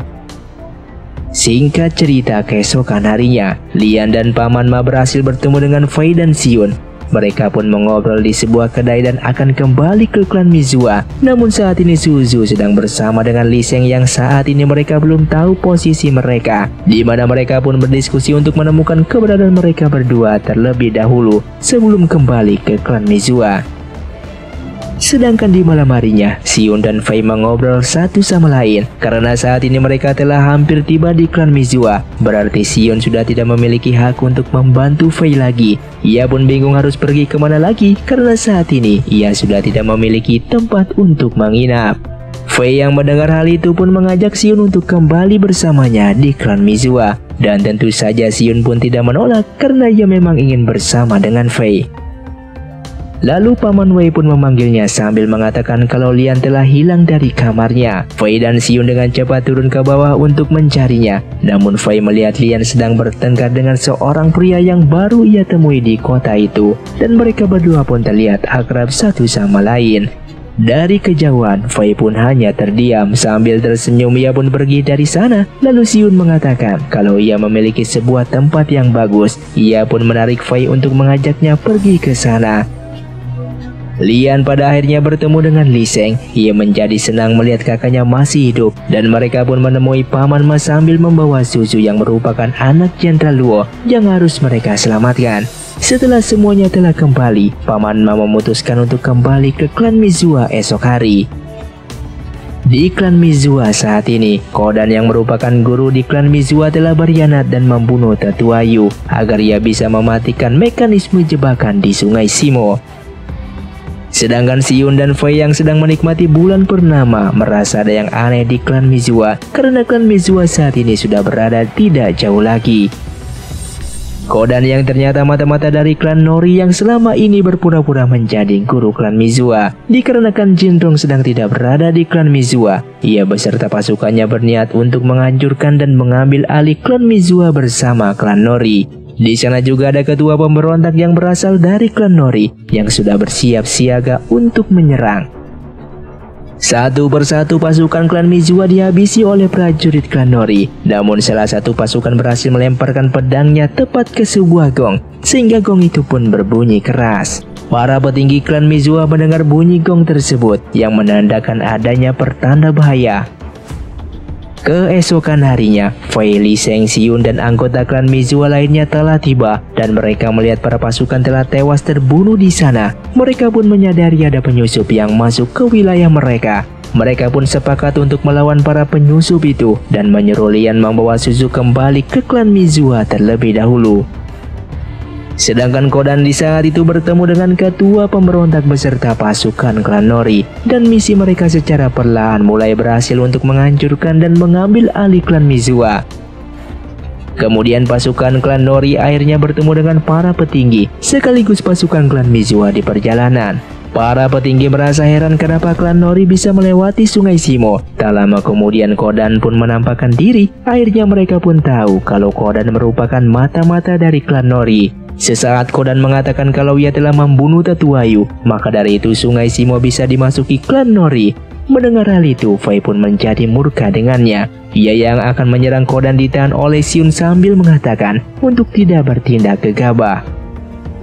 Dan salah satu petinggi klan Mizua pada akhirnya turun tangan untuk melawan ketua pemberontak dari klan Nori, sehingga pertarungan sengit pun terjadi. Kodan yang bertindak curang dengan melemparkan jarum beracun. Fei dengan sikap menghindari jarum tersebut dan jarum itu pun hampir saja mengenai Siun. Dan beruntungnya Siun dengan sigap menahan jarum tersebut dengan bila bambu yang dipegangnya. Belum cukup sampai di situ, Kodan juga menyiapkan pisau di sepatunya agar bisa membunuh Fei. Sesaat pisau di sepatunya itu terbelah dua akibat tebasan dari pedang Fei dan pertarungan pun berakhir imbang. Dan ternyata semuanya ini hanyalah jebakan yang sudah dibuat oleh Kodan beserta ketua pemberontak tersebut. Ketua pemberontak mengatakan kalau saat ini pasukan klan Nori telah menyerang para penduduk di klan Mizua dan menyerang dari segala sisi. Kodan lalu berbicara, ia melakukan pengkhianatan dan menjadi mata-mata karena ia ingin mengambil gelang Haitian yang ia ketahui pasti berada dengan Jinrong. Sedangkan prajurit klan Nori yang sedang memasang jebakan dibunuh oleh pasukan klan Mizuha secara diam-diam. Ternyata Lee Seng telah memimpin pergerakan pasukan tersebut untuk membasmi klan Nori. Mereka pun menghancurkan kawat jebakan di sana. Di sisi lain, Kodan mengatakan kalau barang keramat itu memiliki tiga jenis, salah satunya gelang Haitian yang ia yakini pasti bersama dengan Jinrong. Kemudian barang keramat yang kedua berada dengan Jenderal Luo, ayah dari Suzu, dan barang keramat yang ketiga berada dengan keluarga Ho. Sedangkan di gerbang klan Mizua, Li Seng beserta pasukan sedang menghentikan pergerakan klan Nori agar tidak bisa masuk lebih dalam lagi dan pertarungan sengit pun terjadi di antara dua kubu.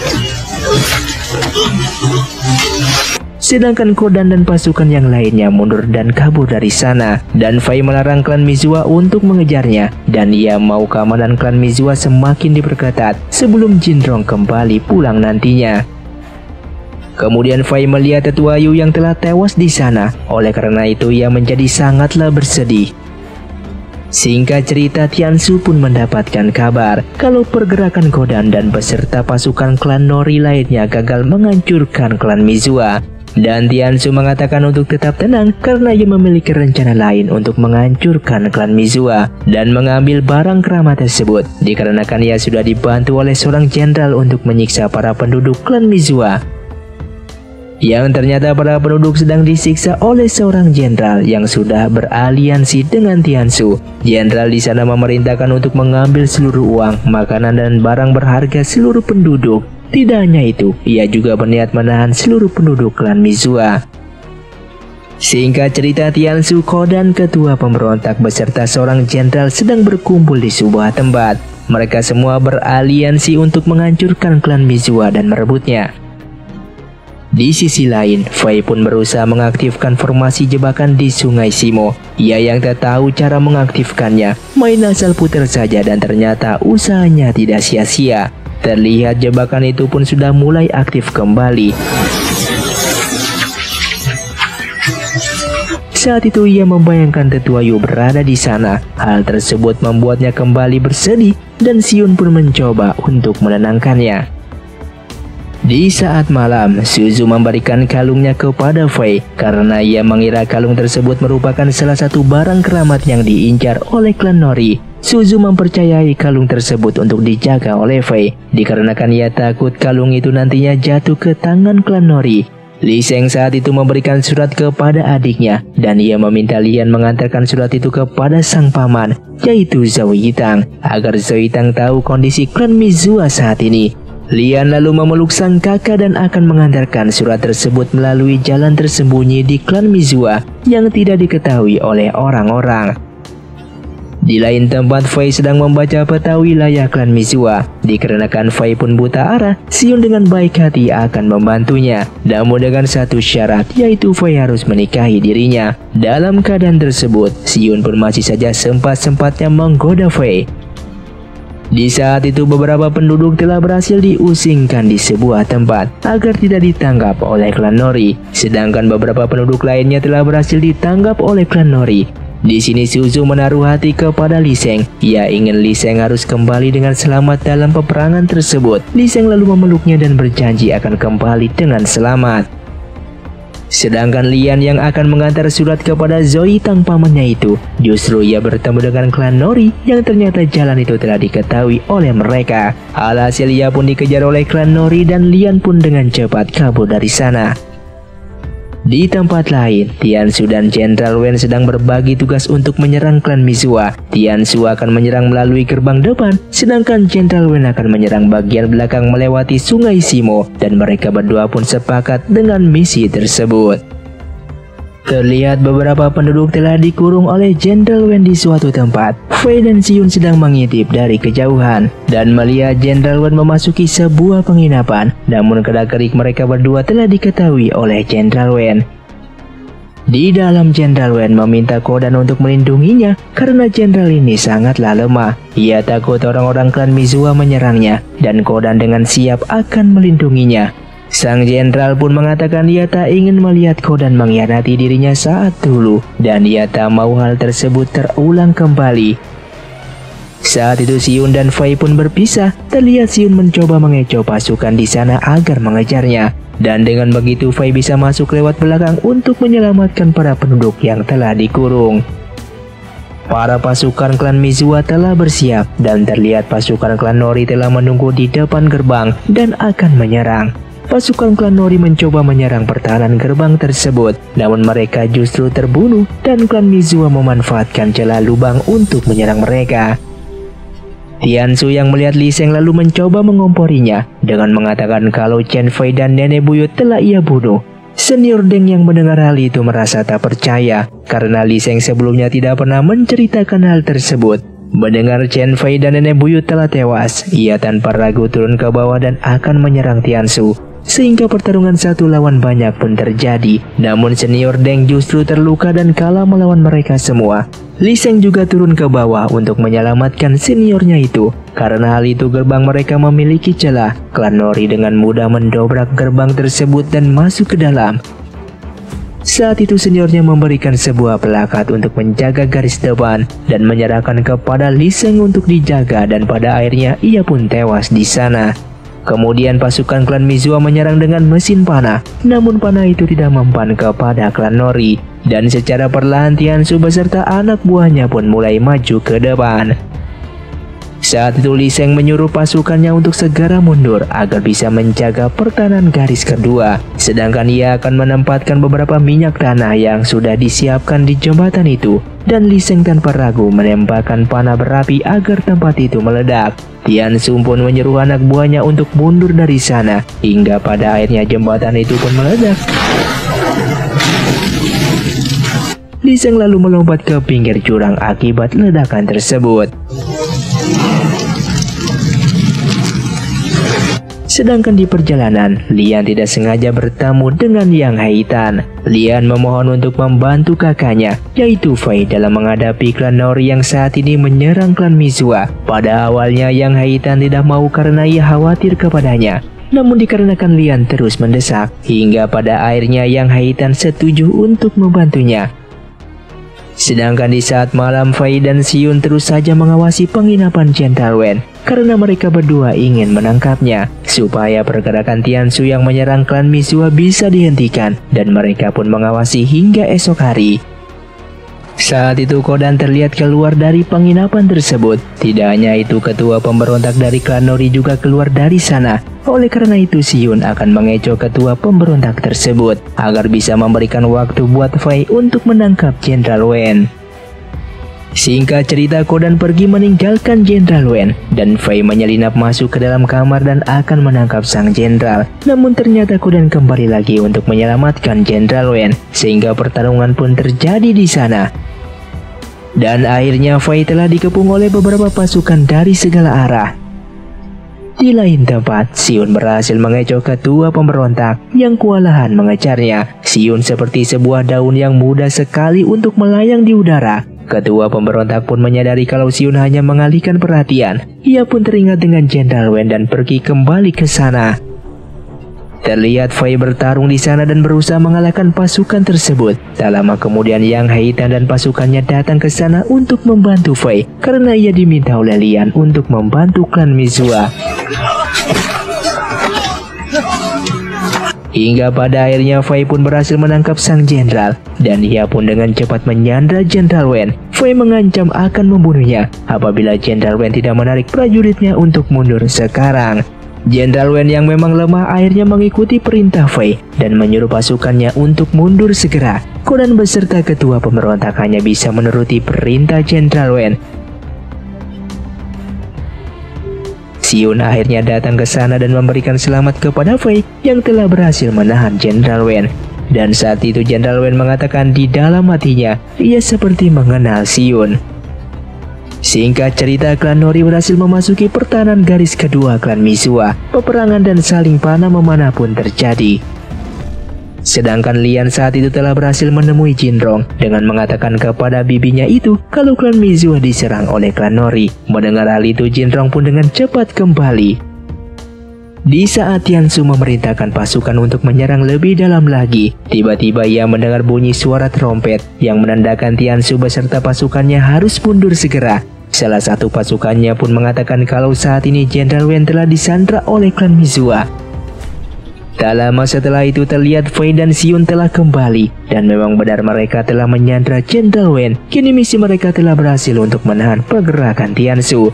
Singkatnya, Fei mengatakan akan melepaskan Jenderal Wen asalkan Kodan diberikan kepada klan Mizua karena Kodan akan dihukum karena telah berkhianat. Kedua kubu pada akhirnya saling sepakat dan Fei secara perlahan menyerahkan Jenderal Wen kepada mereka. Namun siapa sangka Paman Ma juga berkhianat. Ia menyerang dari belakang dan Jenderal Wen akhirnya bisa dilepaskan. Kemudian Fei meminta Xion untuk menjaga gelang milik Suzu karena ia akan bertarung mati-matian melawan klan Nori. Gelang tersebut merupakan salah satu barang keramat yang diincar oleh Tiansu. Paman Ma yang merasa bersalah karena telah berkhianat lalu menyerang Kodan, namun ia justru dengan mudah dikalahkan. Fei datang membantu dan menyerang Kodan sehingga pertarungan sengit pun terjadi yang pada akhirnya Fei pun berhasil membunuh Kodan.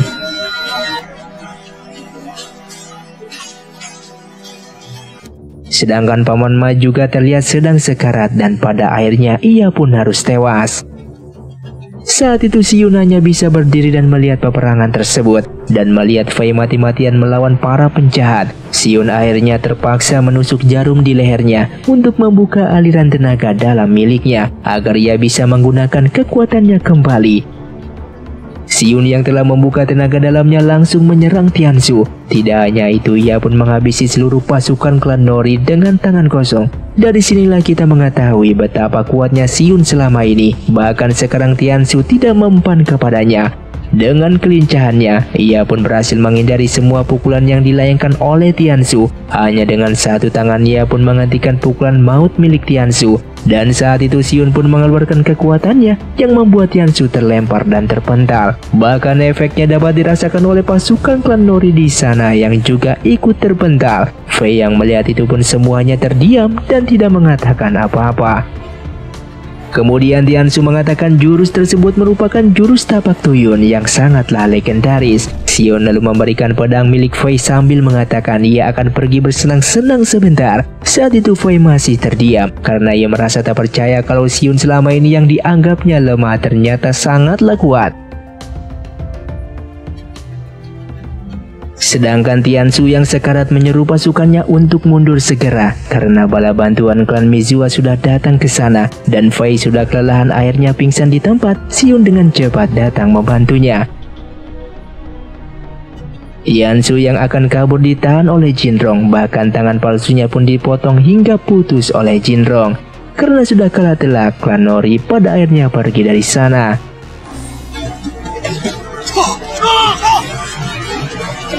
Sedangkan Li Sheng yang terjebak di atas jembatan berhasil diselamatkan dan Jinrong merasa lega ternyata Li Sheng masih hidup. Begitu juga dengan Suzu yang merasa senang melihat Li Sheng baik-baik saja.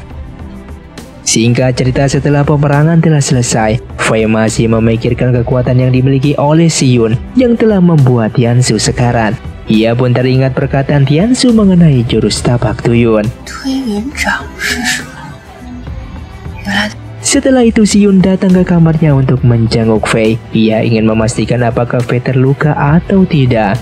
Namun Fei lagi-lagi memandang Siun tanpa berkedip. Tingkahnya itu membuat Siun menganggapnya aneh. Saat ini banyak sekali pertanyaan demi pertanyaan yang ia lontarkan kepada Siun mengenai siapakah Siun sebenarnya. Namun ia tahu kalau ia menanyakan hal tersebut, Sion tidak akan mau menjawabnya dan akan mengatakan bohong.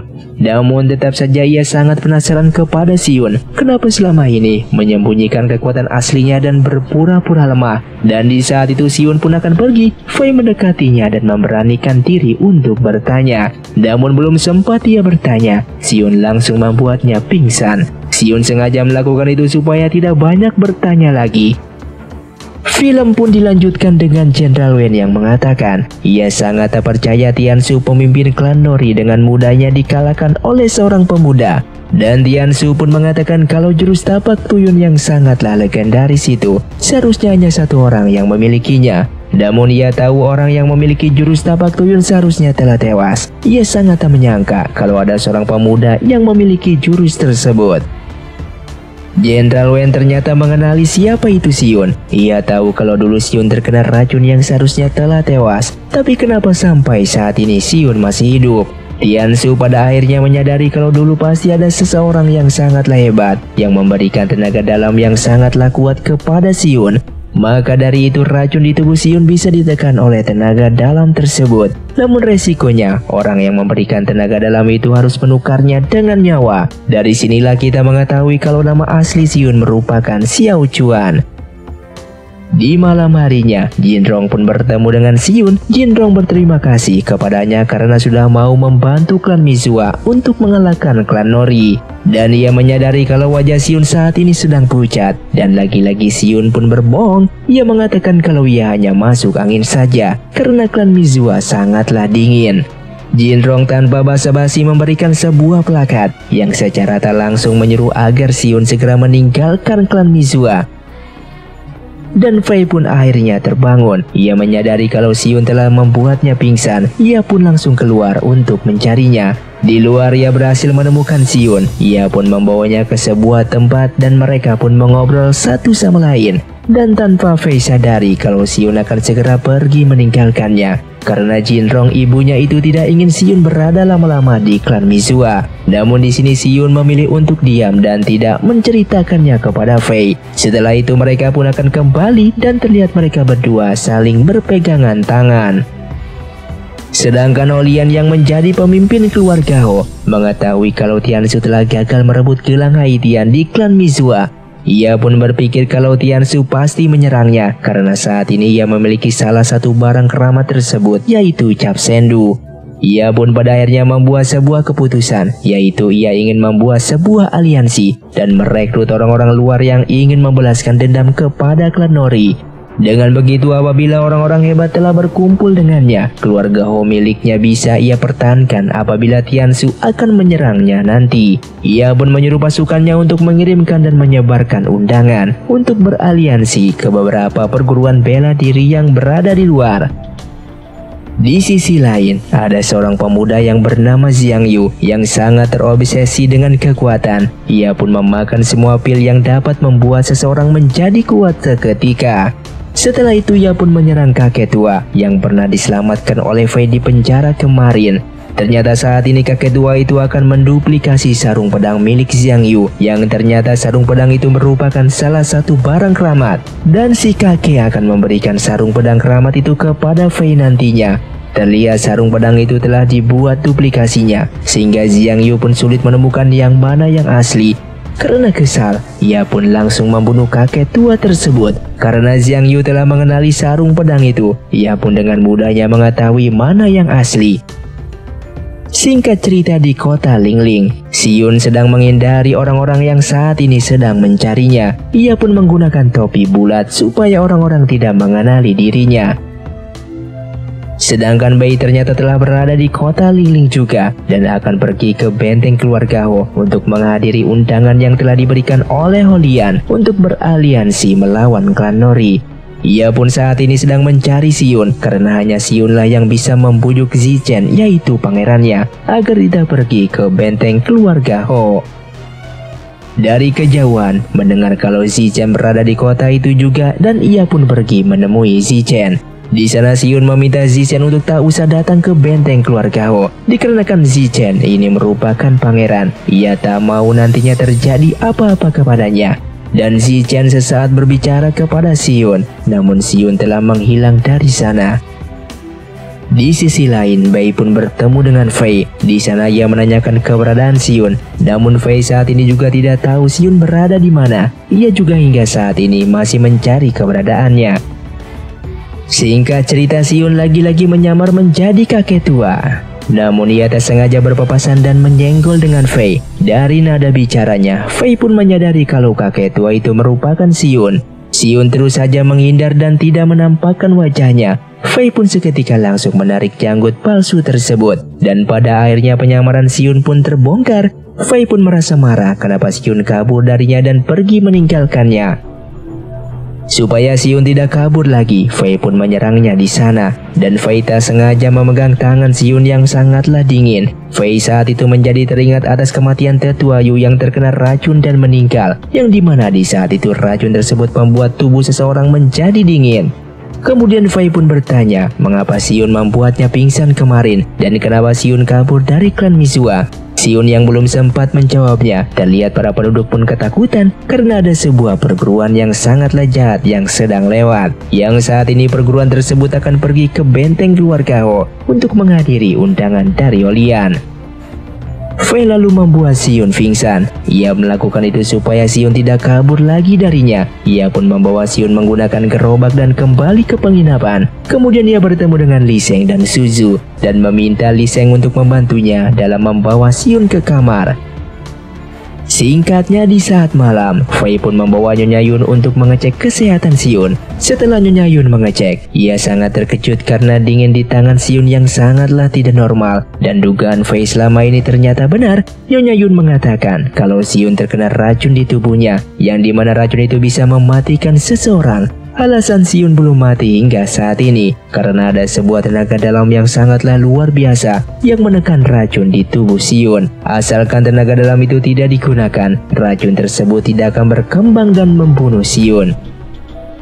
Lalu setelah itu ada seseorang tabib yang mengetahui keberadaan Siun saat ini karena ia sebelumnya melihat Fei yang telah membawa Siun menggunakan gerobak. Tabib itu pun mengecek kesehatan Siun. Setelah mengeceknya, tabib itu pun mengatakan kalau Siun telah terkena racun yang sangatlah langka. Ia pun mengecek lehernya dan terlihat bekas tusukan jarum akupuntur yang pernah dilakukan oleh Siun di medan pertempuran kemarin. Tabib itu pun mengatakan untuk Siun tidak menggunakan tenaga dalamnya lagi. Apabila itu dilakukan, maka ia bisa memastikan kalau Siun pasti akan tewas di saat itu juga.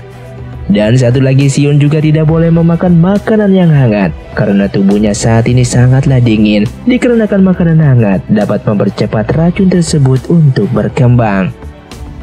Singkat cerita setelah mengetahui semua kebenarannya itu, Fei pun sangatlah bersedih. Ia merasa kesal karena Sion tidak mau menceritakan semuanya ini kepadanya. Dan kenapa Sion harus mempertaruhkan nyawanya di medan pertempuran kemarin. Padahal nyawanya sendiri sedang di ujung tanduk. Ia pun memeluknya karena ia tak ingin kehilangan Sion. Keesokan harinya, Siun pun yang telah sadar melihat kaki dan tangannya sudah dirantai dan itu dilakukan oleh Fei supaya Siun tidak kabur kembali. Ia memohon kepada Fei agar mau melepaskannya, namun Fei tetap keras kepala dan tidak akan pernah mau melepaskan rantai tersebut. Di saat itu, Fei pun membawakan Siun makanan, namun makanan yang dirasakan oleh Siun begitu dingin yang membuat ia tidak selera untuk makan. Fei memaksa Siun untuk makan makanan tersebut agar racun di tubuhnya tidak cepat berkembang.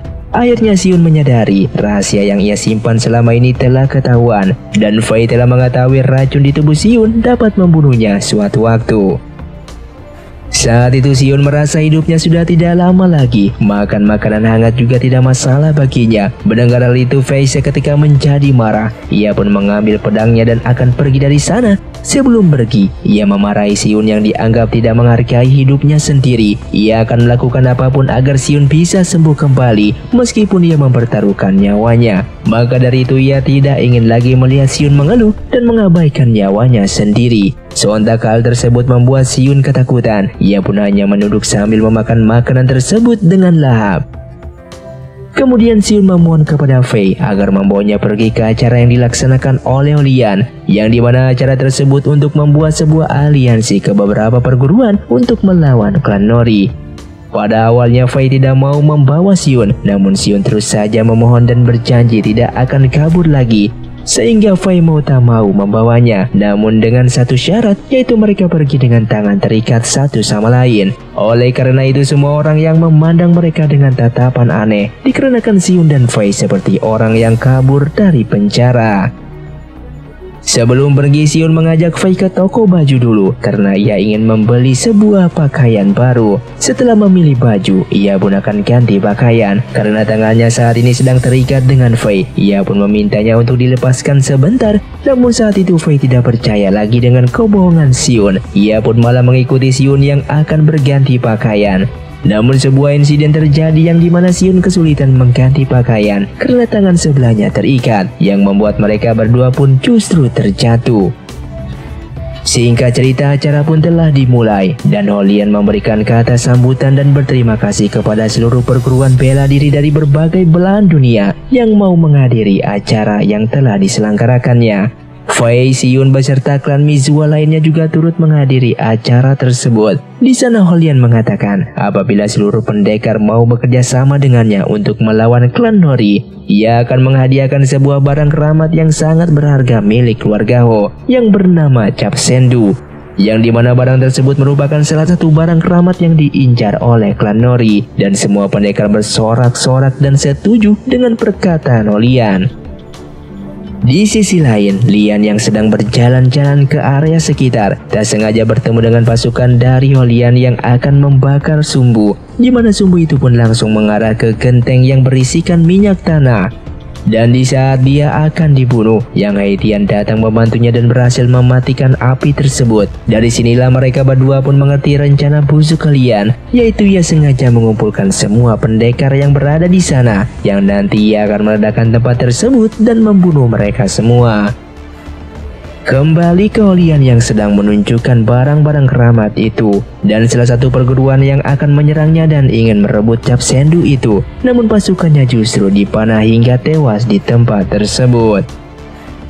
Dan tiba-tiba cap sendu itu pun direbut oleh Baisu yang entah datang dari mana. Baisu itu menuduh Holian lah yang telah membunuh kakaknya sendiri dan merebut cap sendu sekaligus merebut kursi kepemimpinan keluarga Ho. Pada awalnya Olian tentu saja menyangkal tuduhan tersebut. Namun Baisu itu membawa seseorang pelayan yang ternyata pelayan tersebut menjadi saksi yang pernah melihat Olian ini merebut cap sendu dari kakaknya sendiri yang sedang sekarat. Dan Olian pun pergi membiarkan kakaknya tewas di tempat. Setelah semua kebenaran terungkap, Olian pada akhirnya tidak bisa mengelak. Fei dan Xiun datang ke sana dengan mengatakan kalau Holian telah menipu mereka semua dan saat ini Holian telah bersekutu dengan klan Nori dan berpura-pura mengajak beraliansi ke beberapa perguruan bela diri. Dari kejauhan, Lian pun datang ke sana sambil meneriaki kalau tempat yang mereka pijaki saat ini akan diledakkan oleh Holian. Semua orang pun berambulan menyelamatkan diri dan Holian sendiri mencoba kabur dari sana. Lalu Sion yang memohon untuk melepaskan rantai tersebut hingga akhirnya Fei pun mau melepaskannya. Ia pun menggunakan kunci untuk melepaskan gembok tersebut. Di saat akan dilepaskan tiba-tiba Fei disenggol oleh seseorang yang membuat kunci itu pun terjatuh ke dalam kolam dan pada akhirnya gembok itu pun tidak bisa dibuka. Holian yang akan kabur berhasil dikejar oleh Baisu dan ia akan membunuhnya karena Holian sudah tega membunuh kakaknya sendiri yang di mana kakak Holian itu merupakan sahabat Baisu. Namun tiba-tiba seorang pria tua datang ke sana dan langsung membunuh Holian. Pria tua itu pun bernama Zukui. Sehingga Zukui dan Baisu pun akhirnya bertarung satu sama lain dan Zukui akan merebut cap sendu dari tangan Baisu. Namun akhirnya Baisu pun kalah telak dan Zukui berhasil merebut barang keramat tersebut. Karena sekarat, Baisu pun pergi melarikan diri. Di sisi lain, Si Chen sedang diserang oleh pasukan Olian. Untung saja ia diselamatkan oleh Fai dan Xiun. Mereka pun bertarung dengan tangan masih terikat. Tak lama kemudian Zukui pun datang ke sana dan ternyata Zukui dan Xiun saling kenal yang di mana Zukui inilah yang merupakan salah satu pemberontak yang menyerang dinasti tempat tinggal Xiun terdahulu sehingga pertarungan pun akhirnya terjadi di sana. Saat itu Fei mencoba membuka gembok itu dengan sebuah pola teka-teki namun karena kuncinya hilang Fei pun menjadi sulit untuk merusak gembok tersebut. Setelah itu Zukui pun turun tangan untuk menghadapi mereka berdua dan Xiun mengambil sebatang kayu kecil yang berada di tanah yang ternyata ia gunakan untuk membuka gembok tersebut. Sehingga gembok itu pun berhasil dibuka namun pedang milik Fei terbelah menjadi dua.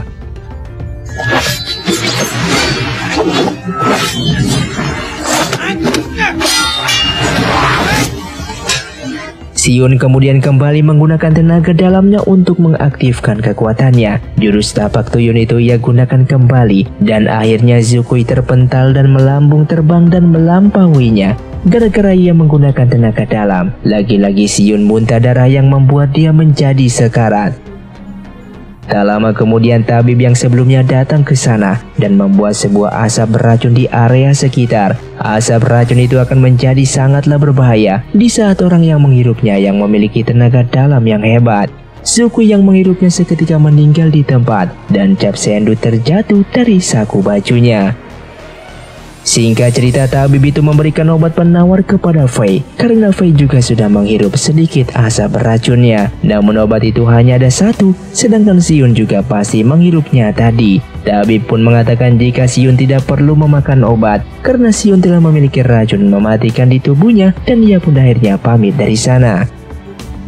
Fei dengan sisa tenaganya menggendong Siun untuk kembali ke kota. Namun karena kelelahan ia pun akhirnya tumbang juga. Terlihat Siun sudah tidak sadarkan diri dan Fei tetap berusaha menariknya. Karena asap beracun tadi masih di tubuh Fei, ia pun pingsan di sebelah Siun.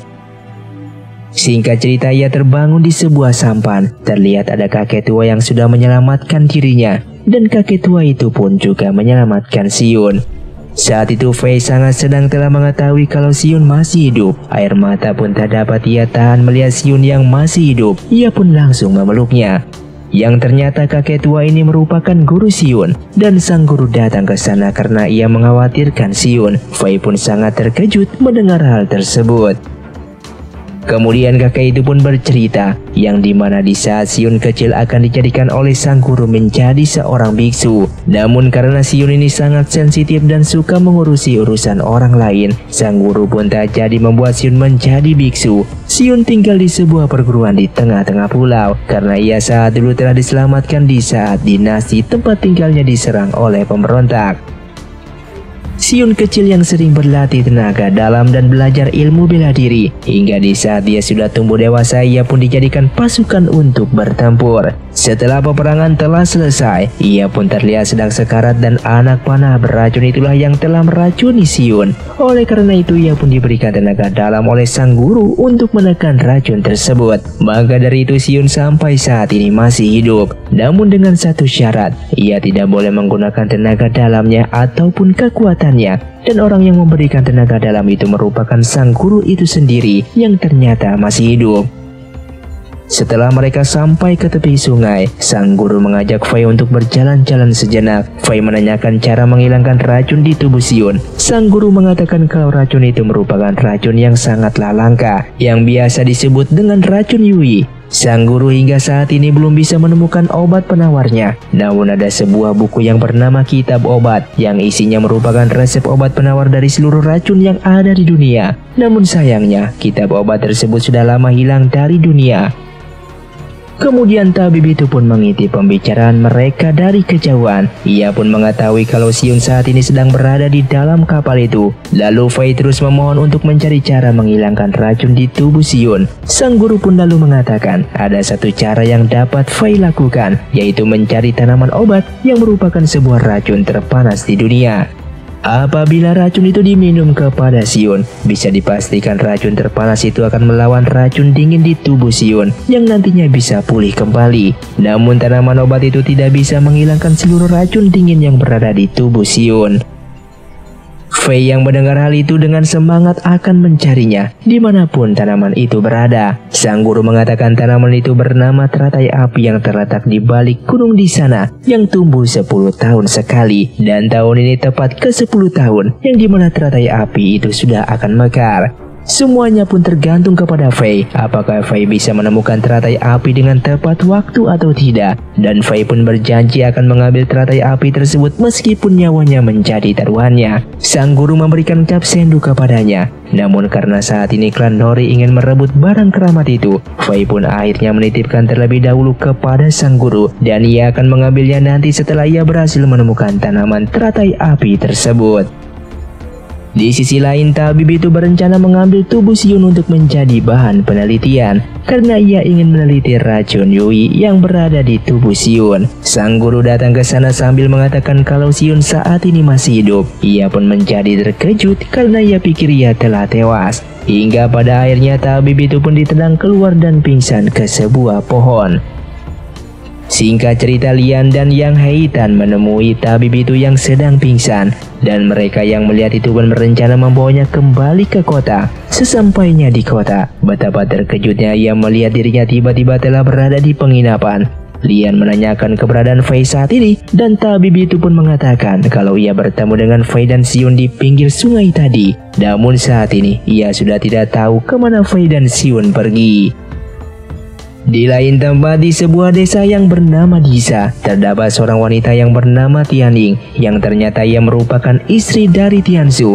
Faktanya orang yang telah meracuni Siun saat dulu merupakan istri dari Tiansu ini dan Tianing sangat terkejut setelah mengetahui kalau Siun ternyata masih hidup dan Tianing yang saat ini juga sakit-sakitan. Maka dari itu Tiansu juga berupaya untuk mendapatkan gelang Haitian yang ternyata Tiansu juga tahu mengenai kitab obat tersebut yang di mana ia berencana mencari buku kitab obat itu untuk mencari resep obat penawar yang akan digunakan untuk istrinya nanti. Dan Tian Ying pun mengatakan untuk mengobati racun di tubuh Xion harus menggunakan tanaman teratai api yang tumbuh 10 tahun sekali. Ia pun menyadari mungkin saja saat ini Fei akan mengambil teratai api tersebut. Mendengar hal itu Tian Su pun akan pergi ke gunung itu namun ditahan oleh istrinya. Tian Ying meminta Tian Su untuk berfokus mencari gelang Haitian dan buku kitab obat. Masalahnya Siun kesampingkan dahulu karena penjaga tanaman teratai api saat ini juga berada di atas gunung yang dijuluki serigala salju dan mustahil bagi Fei bisa melewati orang tersebut untuk mengambil teratai api. Di saat itu Lian bertemu dengan seorang pria tua yang ternyata pria tua itu pemegang sebuah peta rahasia keberadaan gelang Haitian saat ini yang selama ini ia jaga selama 20 tahun. Keberadaan peta itu sudah diketahui oleh klan Nori dan saat ini ia sedang diburu oleh klan Nori dan pria tua ini utusan dari kakek Lian yaitu Lisiu untuk menjaga peta tersebut. Kemudian Lian juga diperintahkan untuk menghafal sebuah puisi di balik peta tersebut karena puisi itu akan mengantar mereka untuk mendapatkan lokasi gelang Haitian nantinya. Tak lama kemudian klan Nori pun datang ke sana dan akan merebut peta tersebut. Pria tua itu pun memberitahukannya, namun siapa sangka peta tersebut seketika terbakar dan tanpa ragu pria tua itu langsung menahan klan Nori agar Lian dan yang lainnya bisa kabur dari sana. Ia pun mempertaruhkan nyawanya dan pada akhirnya ia pun harus tewas di tangan klan Nori. Sedangkan di sisi lain, Fei sedang berusaha mendaki gunung es untuk mendapatkan tanaman teratai api yang diyakini dapat meredakan racun di tubuh Sion. Saat ia tiba di atas, ternyata Baisu telah berada di sana dan sedang menunggu Fei. Baisu bermaksud mengambil cap sendu yang berada di tangan Fei karena cap sendu merupakan barang keramat milik keluarga Ho yang harus ia jaga agar tidak jatuh ke tangan klan Nori. Namun siapa sangka penjaga gunung es yang dijuluki serigala salju juga datang ke sana dan akan merebut cap sendu dari Fei. Di sana juga terdapat teratai api yang sudah tumbuh mekar. Untuk memperebutkan cap sendu tersebut, Baisu dan serigala salju bertarung satu sama lain. Sedangkan Fei memanfaatkan kesempatan itu untuk mengambil teratai api di sana. Di dalam pertarungan mereka, longsor salju tiba-tiba turun yang hampir menimbun mereka yang membuat mereka semua kabur dan menyelamatkan diri masing-masing sehingga Fai pun dibawa pergi oleh Baisu untuk diselamatkan. Singkatnya Fai terbangun dari pingsannya dan Baisu telah menyelamatkannya. Mereka berdua pun mengobrol dan menjadi dekat satu sama lain. Fai pun berjanji akan memberikan cap sendu kepadanya setelah ia berhasil membawa teratai api tersebut turun ke bawah gunung sehingga Baisu pun menyetujui permintaannya. Singkat cerita anak buah Tiansu itu pun menceritakan kepada Tiansu kalau pada tersebut telah hangus terbakar. Namun sebelum terbakar ia sempat melihat sebuah gambar dan gambar itu berupa gelang emas, gambar gembok abadi, gambar sarung pedang dan gambar sebuah cap. Dan yang terakhir adalah gambar tongkat yang ia sendiri tidak tahu gambar-gambar itu barang apa. Tiansu yang kesal dengan kegagalannya menyuruhnya untuk menggambar barang-barang tersebut. Sedangkan saat itu Fei dan Baisu tiba-tiba diserang oleh serigala salju yang akan merebut cap sendu dari Fei. Di dalam pertarungan tersebut, Fei pun melemparkan cap sendu ke bawah gunung. Setelah ia berhasil mendapatkannya, yang ternyata barang itu bukanlah cap sendu, melainkan hanya sebuah batu biasa dan ia telah ditipu oleh Fei. Fei dan Baisu pun hanya tertawa karena mereka berhasil menipunya dan kini teratai api berhasil iamankan. Singkat cerita mereka pun akan berpisah dan Fei pun berjanji akan memberikan cap sendu di saat berada di kota nanti dan mereka berdua pun berjanji akan bertemu kembali di kota tersebut. Dan Fei pun dengan cepat membawa teratai api itu untuk menyelamatkan Sion Singkat cerita sesampainya Fei di Pulau Selatan, ia pun memberikan teratai api itu kepada penunggu Pulau Selatan yang sedang menjaga Siun di sana. Namun karena kelelahan ia pun langsung pingsan di tempat dan penunggu Pulau Selatan yang melihat Fei dengan cepat menyelamatkannya. Sang guru yang membawa teratai api berbicara kepada Siun yang masih belum sadarkan diri. Di sana ia mengatakan kalau Fei telah bersusah payah mengambil teratai api tersebut dari tempat yang sangatlah jauh dan hampir kehilangan nyawanya demi menyelamatkan Siun. Sang guru sangat bangga kepada Fei dan Siun sangat beruntung mendapatkan teman seperti Fei. Kemudian Fei pun telah terbangun dari pingsannya. Ia pun menanyakan kepada sang guru mengenai keadaan Siun. Sang guru mengatakan Siun baik-baik saja. Setelah meminum ramuan dari teratai api, Siun pun akan bangun selama beberapa hari saja dan ia akan pingsan kembali. Dikarenakan teratai api hanya bisa membuat menjadi sadar beberapa saat, Fei pun lalu berjanji akan mencari obat yang ketiga untuk menyelamatkan Siun supaya Siun bisa kembali sadar sepenuhnya. Dan tanaman obat itu berupa rumput rumput ekor api zooming, tanaman yang sangat panas sedunia. Yang ternyata serigala salju merupakan kaki tangan dari klan Nori. Pantas saja ia berniat mengambil cap sendu dari Fei karena ia diperintahkan oleh Tianling untuk merebutnya. Namun saat ini ia telah gagal, maka dari itu ia pun meminta maaf kepada Tianling. Fei yang tertidur dihampiri oleh Xion yang saat ini telah kembali pulih. Ia pun memberikan selimut kepadanya. Lalu Xion menemui sang guru. Di sana ia bertanya berapa lama ia bisa bertahan hidup. Sang guru mengatakan ia hanya bisa bertahan selama satu tahun saja dan tidak boleh menggunakan tenaga dalamnya. Apabila itu dilanggar, sang guru sudah tidak akan bisa membantunya lagi. Di sana juga ada Fei yang tak sengaja mendengar pembicaraan mereka berdua. Setelah itu Siun dan Fei pun pergi dari pulau tersebut dengan menggunakan perahu. Singkatnya mereka telah tiba di kota Zingkang, kota pertama kali bagi Siun mengenal dunia luar. Lalu mereka pun masuk ke dalam, dan Siun pun membawa Fei ke sebuah kedai makanan favoritnya. Pelayan di sana mengira kalau Siun dan Fei merupakan pasangan suami istri. Maka dari itu pelayan akan memberikan tempat khusus untuk mereka berdua. Di saat sedang makan, Fei masih membahas mengenai umur Siun yang hanya bisa bertahan satu tahun saja. Namun Siun mengatakan untuk tidak usah membahas umurnya lagi. Keesokan harinya Feita sengaja bertemu dengan Baisu dan di sana Baisu memberikan cap sendunya kepadanya karena ia ingin Fei menjaganya. Ia menyadari hidupnya saat ini sudah tidak berguna lagi dan saatnya giliran pendekar muda yang harus memperjuangkan perdamaian di dunia ini. Setelah itu Baisu pun pergi dari sana dan membuang senjata kecapinya. Ia pun berjalan seperti orang yang telah bingung karena sanak saudara dan keluarga Ho sudah tidak ada lagi saat ini. Di saat kembali ke rumah, Fei pun menunggu Siun yang seharian ini belum kunjung kembali. Ia pun merasa bimbang, namun tak lama kemudian Siun pun datang ke sana dan membawakan makanan untuknya, sehingga Fei pun menjadi senang dan memeluknya. Lalu salah satu pelayan mendapatkan kabar dari klan Mizua kalau saat ini Suzu telah diculik oleh Xiang Yu dan di lain tempat Li Sheng telah berhasil menyelamatkan Suzu yang sedang disandra di sebuah tempat. Namun di saat mereka akan kabur, Xiang Yu berhasil menyusul dan kembali menyandra Suzu dan akhirnya mereka berdua pun disekap di sebuah tempat oleh Xiang Yu. Alasan Xiang Yu menyekap Suzu dikarenakan Suzu ternyata menyimpan kitab kungfu milik keluarga Wu dan Suzu pun memberikan kitab kungfu itu kepadanya. Namun Xiang Yu merasa kitab itu tidak asli melainkan palsu. Tak lama kemudian prajurit klan Nori pun datang ke sana dan berniat mengambil kitab kungfu tersebut supaya ia bisa menjadi lebih kuat sehingga memperebutkan kitab kungfu itu pun terjadi. Setelah berhasil mendapatkannya, ia pun mulai mempelajari isi kitab kungfu itu. Namun karena tak sanggup mempraktekannya, ia pun kelelahan dan tenaga dalamnya terkuras habis. Dan ia pun kembali menemui mereka. Saat itu Xiang Yu mengatakan ia akan mengajari dirinya cara mempelajari kitab kungfu itu. Namun dengan satu syarat, yaitu ia harus bisa membuat Xiang Yu bergabung dengan klan Nori karena ia ingin mengembalikan reputasi keluarga Yin miliknya.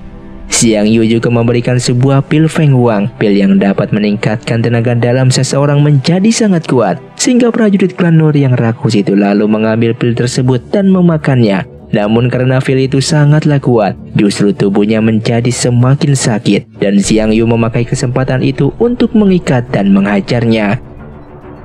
Dikarenakan kitab kungfu sudah di tangannya, Xiang Yu pun membebaskan Suzu dan Li Sheng dari sana. Singkat cerita, Suzu menemui Nyonya Yun dan menanyakan asal muasal keluarga Yin milik Xiang Yu. Nyonya Yun mengatakan kalau saat dulu ia sempat menyelamatkan seorang bayi dan bayi itu merupakan Xiang Yu yang merupakan keturunan keluarga Yin. Namun karena Xiang Yu tidak memiliki bakat bela diri sejak kecil, ia pun diusingkan dari keluarga Yin dan dianggap tidak berguna. Xiang Yu yang mendengar dari luar lalu masuk ke dalam dan marah kepada Nyonya Yun karena dari awal Nyonya Yun tidak pernah menceritakan itu semua dan Nyonya Yun lalu membuang plakat keluarga Yin dan membuangnya keluar. Xiang Yu berlari mengambilnya, namun tangannya diinjak oleh prajurit klan Nori yang ternyata belum mati. Ia pun dihajar olehnya karena saat ini prajurit klan Nori semakin kuat karena memakan pil tersebut. Tak lama kemudian, Li Sheng, Fei dan Xiun pun datang ke sana. Saat itu Fei menanyakan pil tersebut. Xiang Yu mengatakan kalau ia telah memberikan pil itu kepada prajurit klan Nori dan pil itu merupakan yang terakhir. Ternyata Fei juga akan mengambil pil itu untuk diberikan kepada Xiun. Namun pil itu sudah dimakan oleh prajurit klan Nori. Dikarenakan kesal, Fei dan Li Sheng pun juga menyerangnya sehingga pertempuran pun terjadi. Di saat Fei hampir saja dibunuh, Xiang Yu datang menyelamatkannya dan mengorbankan nyawanya untuk melindungi Fei dan akhirnya ia pun terbunuh di tempat. Dan untung saja Li Sheng dan Fei pun berhasil menusuk prajurit klan Nori itu hingga mati dari belakang.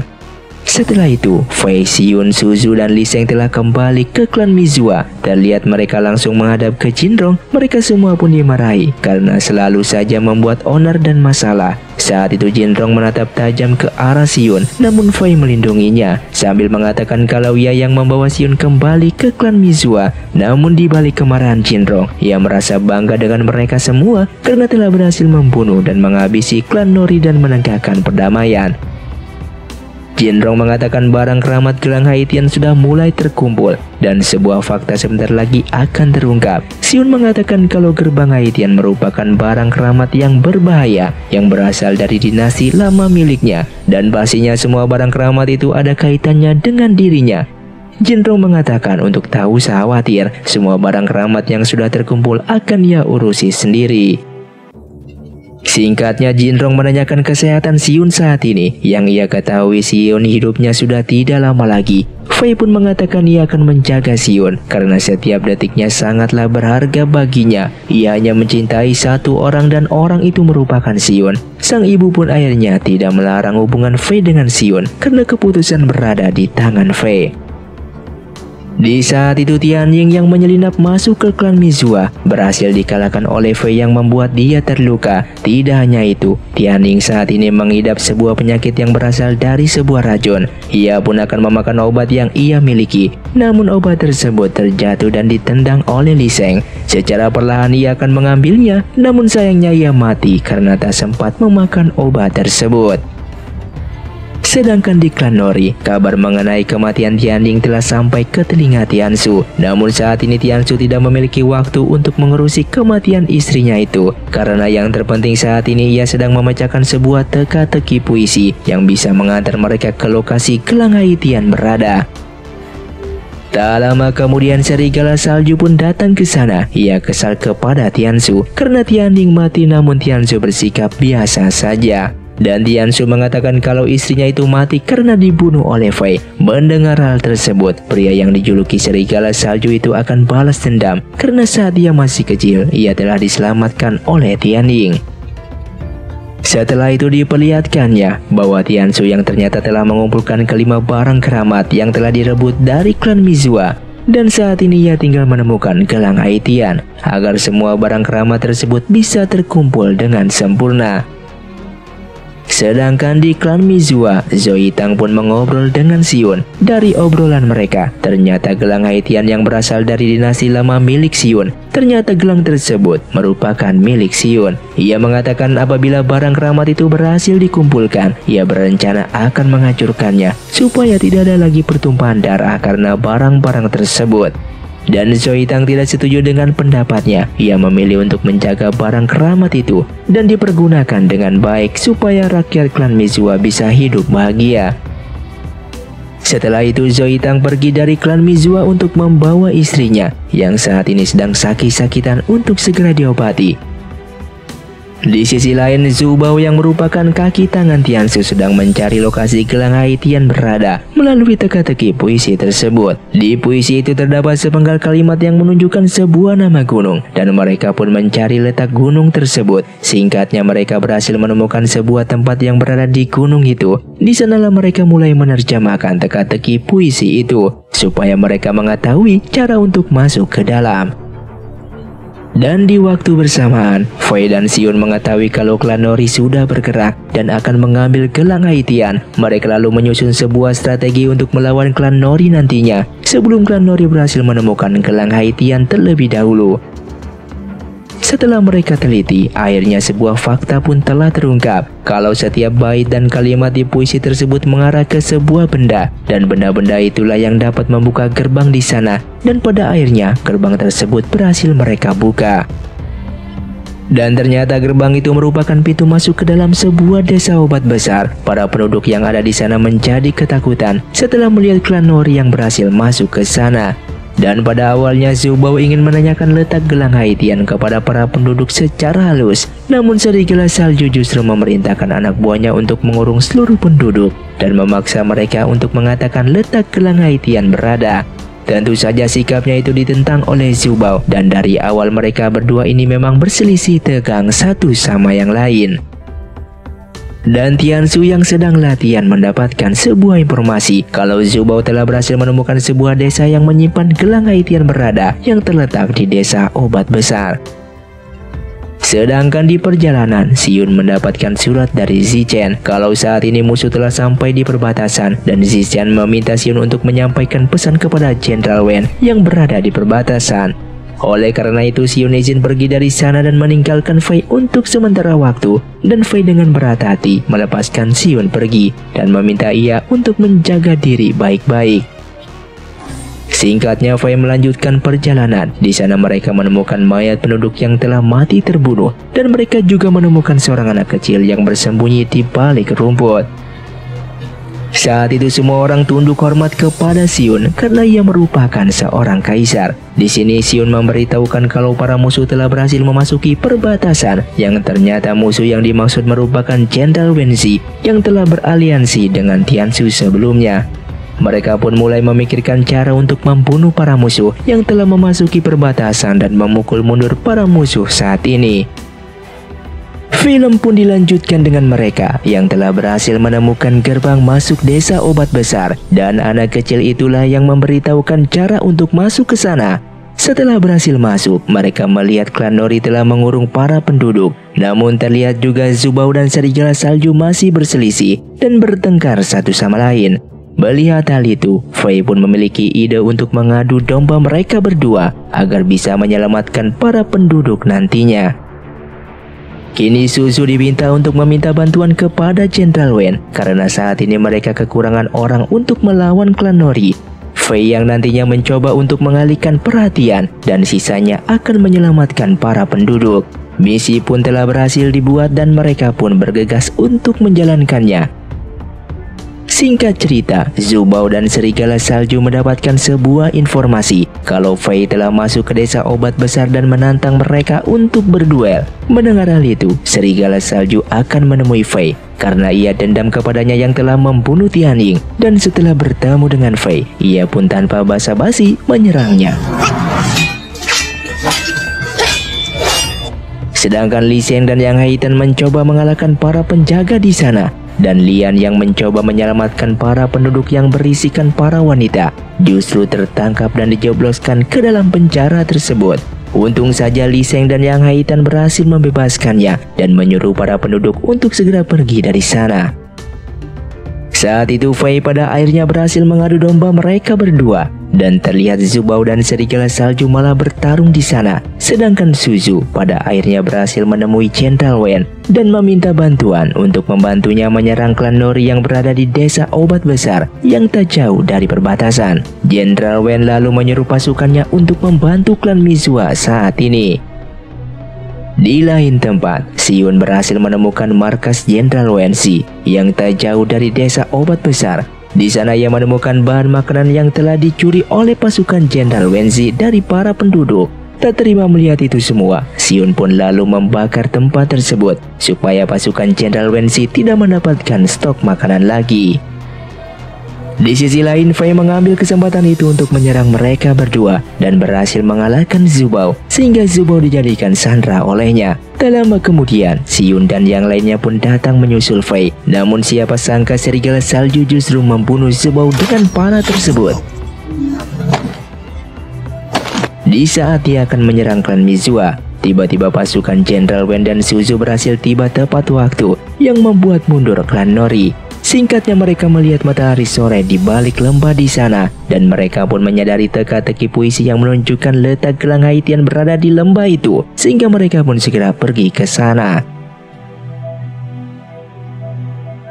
Setibanya mereka di lembah tersebut, di sana terdapat sebuah pintu jembatan. Lalu Fei pun mencoba mencari cara untuk masuk ke dalam. Dan ia tak sengaja menemukan sebuah batu yang terdapat di semak-semak. Dan pintu jembatan itu pun seketika akan turun ke bawah. Mereka pun mulai berpencar mencari kunci batu yang sama persis seperti yang ditekan oleh Fei. Setelah berhasil menekan semua batu yang tersembunyi di balik semak-semak, kini jembatan itu pun mulai turun dan mereka pun segera masuk ke dalam.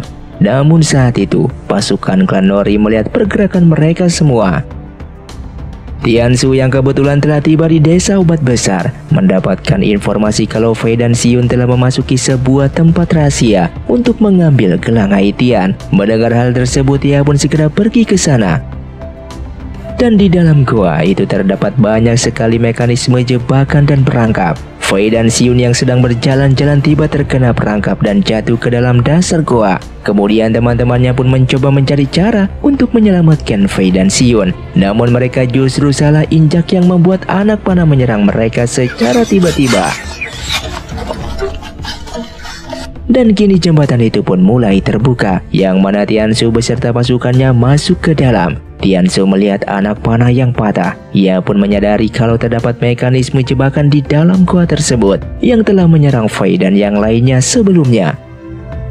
Xion di saat itu tak sengaja menemukan sebuah catatan yang ternyata gua itu dimiliki oleh seseorang dan gua itu sudah ditinggal selama bertahun-tahun. Saat itu Li Seng, Suzu, Yang Haitan, Lian dan yang lainnya pada akhirnya pun bertemu dengan klan Nori. Mereka pun lari dan masuk ke dalam sebuah ruangan. Namun klan Nori juga berhasil masuk ke sana. Mereka yang tak ada pilihan terpaksa masuk lagi ke sebuah ruangan untuk bersembunyi. Dan setelah masuk, Li Seng menghancurkan patung tersebut karena patung itu merupakan kunci agar bisa masuk ke dalam. Dan ia pun melakukan itu supaya klan Nori tidak masuk ke sana. Sehingga Tiansu yang tidak menyerah mencoba menghancurkan dinding tersebut agar bisa masuk ke dalam. Di saat berada di dalam, Li Seng tak sengaja menemukan sesuatu. Ia melihat dinding ada sebuah gambar yang hilang setengah, dan di patung itu juga terdapat sebuah gambar yang hilang setengah. Setelah ia teliti, patung tersebut dan gambar di dinding itu ukiran gambarnya seperti cocok satu sama lain. Kemudian Tiansu pada akhirnya menghancurkan tembok di sana yang membuat mereka bisa masuk dan mengepung seluruh klan Mizua Melihat simbol di dinding itu, dia menyadari kalau ia telah semakin dekat dengan apa yang ia cari selama ini. Dan ia meminta Li Seng mencari mekanisme kunci untuk membuka pintu tersebut. Li Seng pun mengatakan ia akan membukanya, asalkan kitab obat dia yang ambil dan sisanya silakan Tiansu yang ambil. Mereka berdua pun sepakat dan Li Seng mencoba untuk membuka pintu tersebut. Kemudian ia meminta lima barang keramat yang berada di tangan Tiansu saat ini. Terlihat Li Seng mencoba memasukkan satu persatu barang keramat itu di tempatnya, sesuai dengan bentuknya. Setelah semuanya telah dilakukan, seketika pintu itu pun terbuka dan di sanalah segala sesuatu hal yang dicari oleh Tiansu berada di ruangan tersebut. Kemudian Tiansu mulai masuk dan membuka sebuah kotak yang berisikan kitab obat dan kitab kungfu. Namun ternyata di sini Tiansu berkhianat. Ia pun menyuruh pasukannya untuk membunuh mereka semua. Sehingga Li Sheng dan Yang Haitan pun bertarung di sana. Sedangkan Tiansu yang akan pergi bertemu dengan Fei dan Xiun. Fei yang melihat kitab obat dan kitab kungfu berada di tangan Tiansu, ia pun ingin merebutnya. Di dalam pertarungan mereka, kitab kungfu dan kitab obat itu justru terbelah menjadi dua dan seketika gua itu akan hancur sehingga mereka mulai menyelamatkan diri masing-masing. Namun sayangnya Xion ditangkap dan dibawa pergi oleh Tiansu. Setelah itu Tiansu berniat mengambil kitab kungfu karena kitab kungfu tersebut merupakan resep cara membuat senjata yang sangat terkuat di dunia. Namun saat ini setengah dari kitab kungfu tersebut dengan Fei yang membuat ia belum bisa mewujudkan keinginannya. Dan setelah itu, Fei pada akhirnya berhasil menemukan Siun yang dikurung di dalam penjara. Namun ia tidak bisa membuka borgol tersebut. Kemudian Siun berinisiatif dan mencoba menghafal kitab kungfu. Dan setelah ia berhasil menghafalnya, Fei pun berniat akan membakar kitab kungfu tersebut. Keesokan harinya Fei menemui Tiansu seorang diri. Ia pun membakar kitab kungfu tersebut di hadapannya. Dan Tiansu mencoba memadamkan api itu. Namun sayangnya kitab kungfu itu sudah terbakar setengah. Fei pun mengatakan kalau Xion saat ini telah menghafal isi kitab kungfu tersebut. Apabila Tiansu akan membuat senjata terkuat di dunia, Tiansu tidak akan bisa membunuhnya. Dan pada akhirnya perjanjian pun dibuat dengan Siun yang akan membuatkan senjata menggunakan resep kitab kungfu itu. Fei menginginkan Siun dibebaskan dan memberikan setengah kitab obat yang berada di tangan Tiansu saat ini. Dan Tiansu hanya tertawa karena ia sudah dikerjai oleh mereka berdua dan ia pun mau tidak mau menuruti kemauan mereka.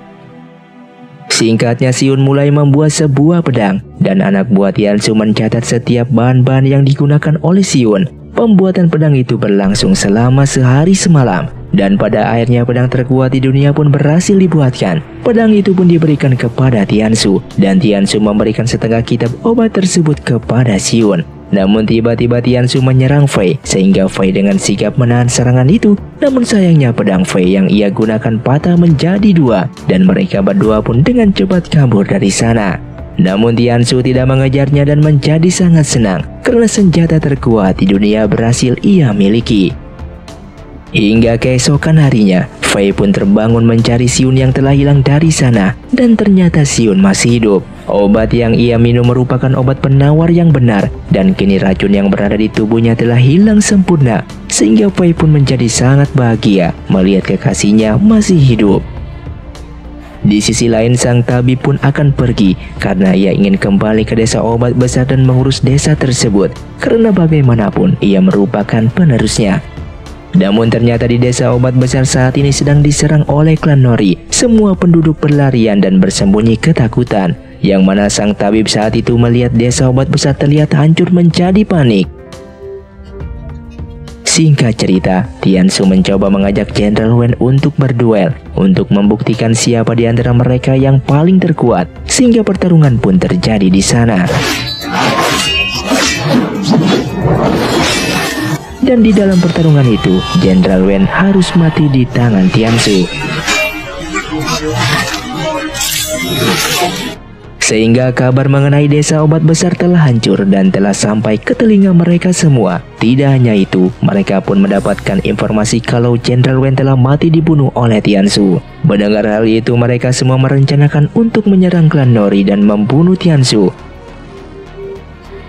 Di lain tempat, serigala salju pada akhirnya tahu kalau kakak angkatnya yaitu Tianling sengaja disuruh oleh Tiansu untuk menyerang klan Mizua seorang diri yang menyebabkan Tianling pada akhirnya mati. Ia pun menjadi marah kepada Tiansu dan akan membalaskan dendam atas kematian kakak angkatnya tersebut.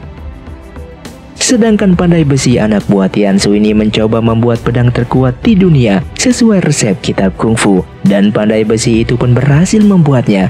Setelah itu serigala salju menemuinya untuk mengambil pedang tersebut sehingga ia pun membunuh pandai besi itu. Tidak hanya itu ia juga memanipulasi resep pembuatan besi itu agar Tiansu tidak bisa lagi membuat senjata terkuat di dunia.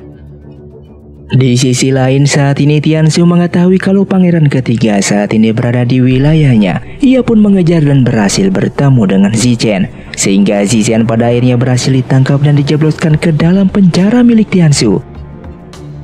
Setelah itu, Tiansu diberikan sebuah tangan besi yang baru yang dibuat sesuai dengan kitab kungfu. Namun tangan besi tersebut malah dengan mudahnya dihancurkan olehnya. Dari sinilah ia pada akhirnya tahu kalau kitab kungfu resep itu telah dimanipulasi oleh serigala salju. Ia pun menjadi marah dengannya. Kemudian setelah itu seluruh klan Mizua telah tiba di klan Nori dan akan menyerang. Sedangkan serigala salju sedang menduduki singgah sana milik Tiansu dan akan merebutnya. Dan pertempuran pun pada akhirnya dimulai. Para pasukan klan Mizua membukakan jalan untuk Fei dan Xion agar bisa menyelamatkan Zisen. Mereka pun bertemu dengan Zisen yang sedang dirantai di sana. Lalu Fei pergi dari sana untuk melawan Tiansu, sedangkan Xiun akan melawan serigala salju. Kemudian Tiansu telah menunggu Fei dengan jubah perang miliknya, sehingga pertarungan sengit pun terjadi.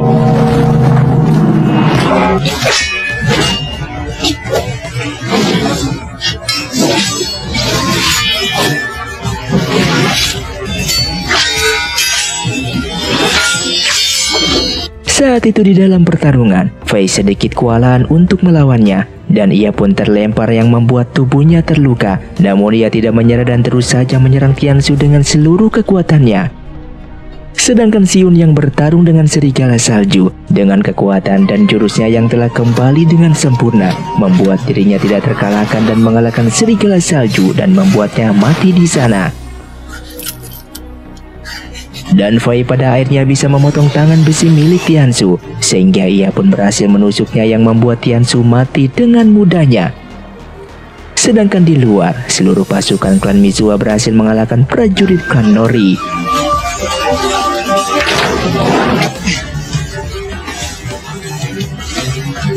Sehingga berita tentang klan Mizua berhasil mengalahkan klan Nori telah diberitahukan kepada seluruh penjuru benua yang membuat para warga di sana menjadi sangat senang mendapatkan kabar tersebut. Sedangkan di tempat lain, saat ini Zoe Tang sedang merawat istrinya di Pulau Selatan, tempat Siun sebelumnya. Dan mereka mendapatkan kabar kalau Fei dan yang lainnya telah berhasil memusnahkan klan Nori yang membuat mereka menjadi bangga dengan anaknya tersebut. Setelah beberapa tahun setelah semuanya sudah selesai, kini sang tabib sudah menjadi tabib yang terhebat yang berada di desa obat besar yang bisa membantu banyak para warga yang sedang sakit-sakitan. Sedangkan Li Sheng dan Suzu sedang mendirikan perguruan kungfu untuk mengajarkan ilmu bela diri kepada para warga yang berada di sana. Dan Xion juga menjadi seorang guru untuk mengajarkan materi teknik kungfu ke seluruh para murid yang berada di klan Mizua Sedangkan Fei mengajarkan teknik bela dirinya agar mereka semua akan menjadi petarung yang terkuat untuk menjadi klan Mizua di generasi selanjutnya. Di tengah singgahan Sungai Simo, mereka pun berbicara satu sama lain, yang mana mereka akan segera menikah dan hidup bersama selamanya.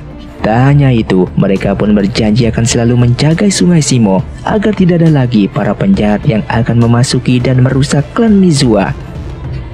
Dan film pun tamat. Terima kasih untuk kalian yang sudah mengikuti dan menonton film ini dari awal hingga akhir. Kalian sungguh sangatlah luar biasa. Buat kalian yang mau request film selanjutnya silahkan komentar di bawah ini. Sampai jumpa di video selanjutnya. Saya pamit dari ningali film. You undur diri dan salam Sundaners.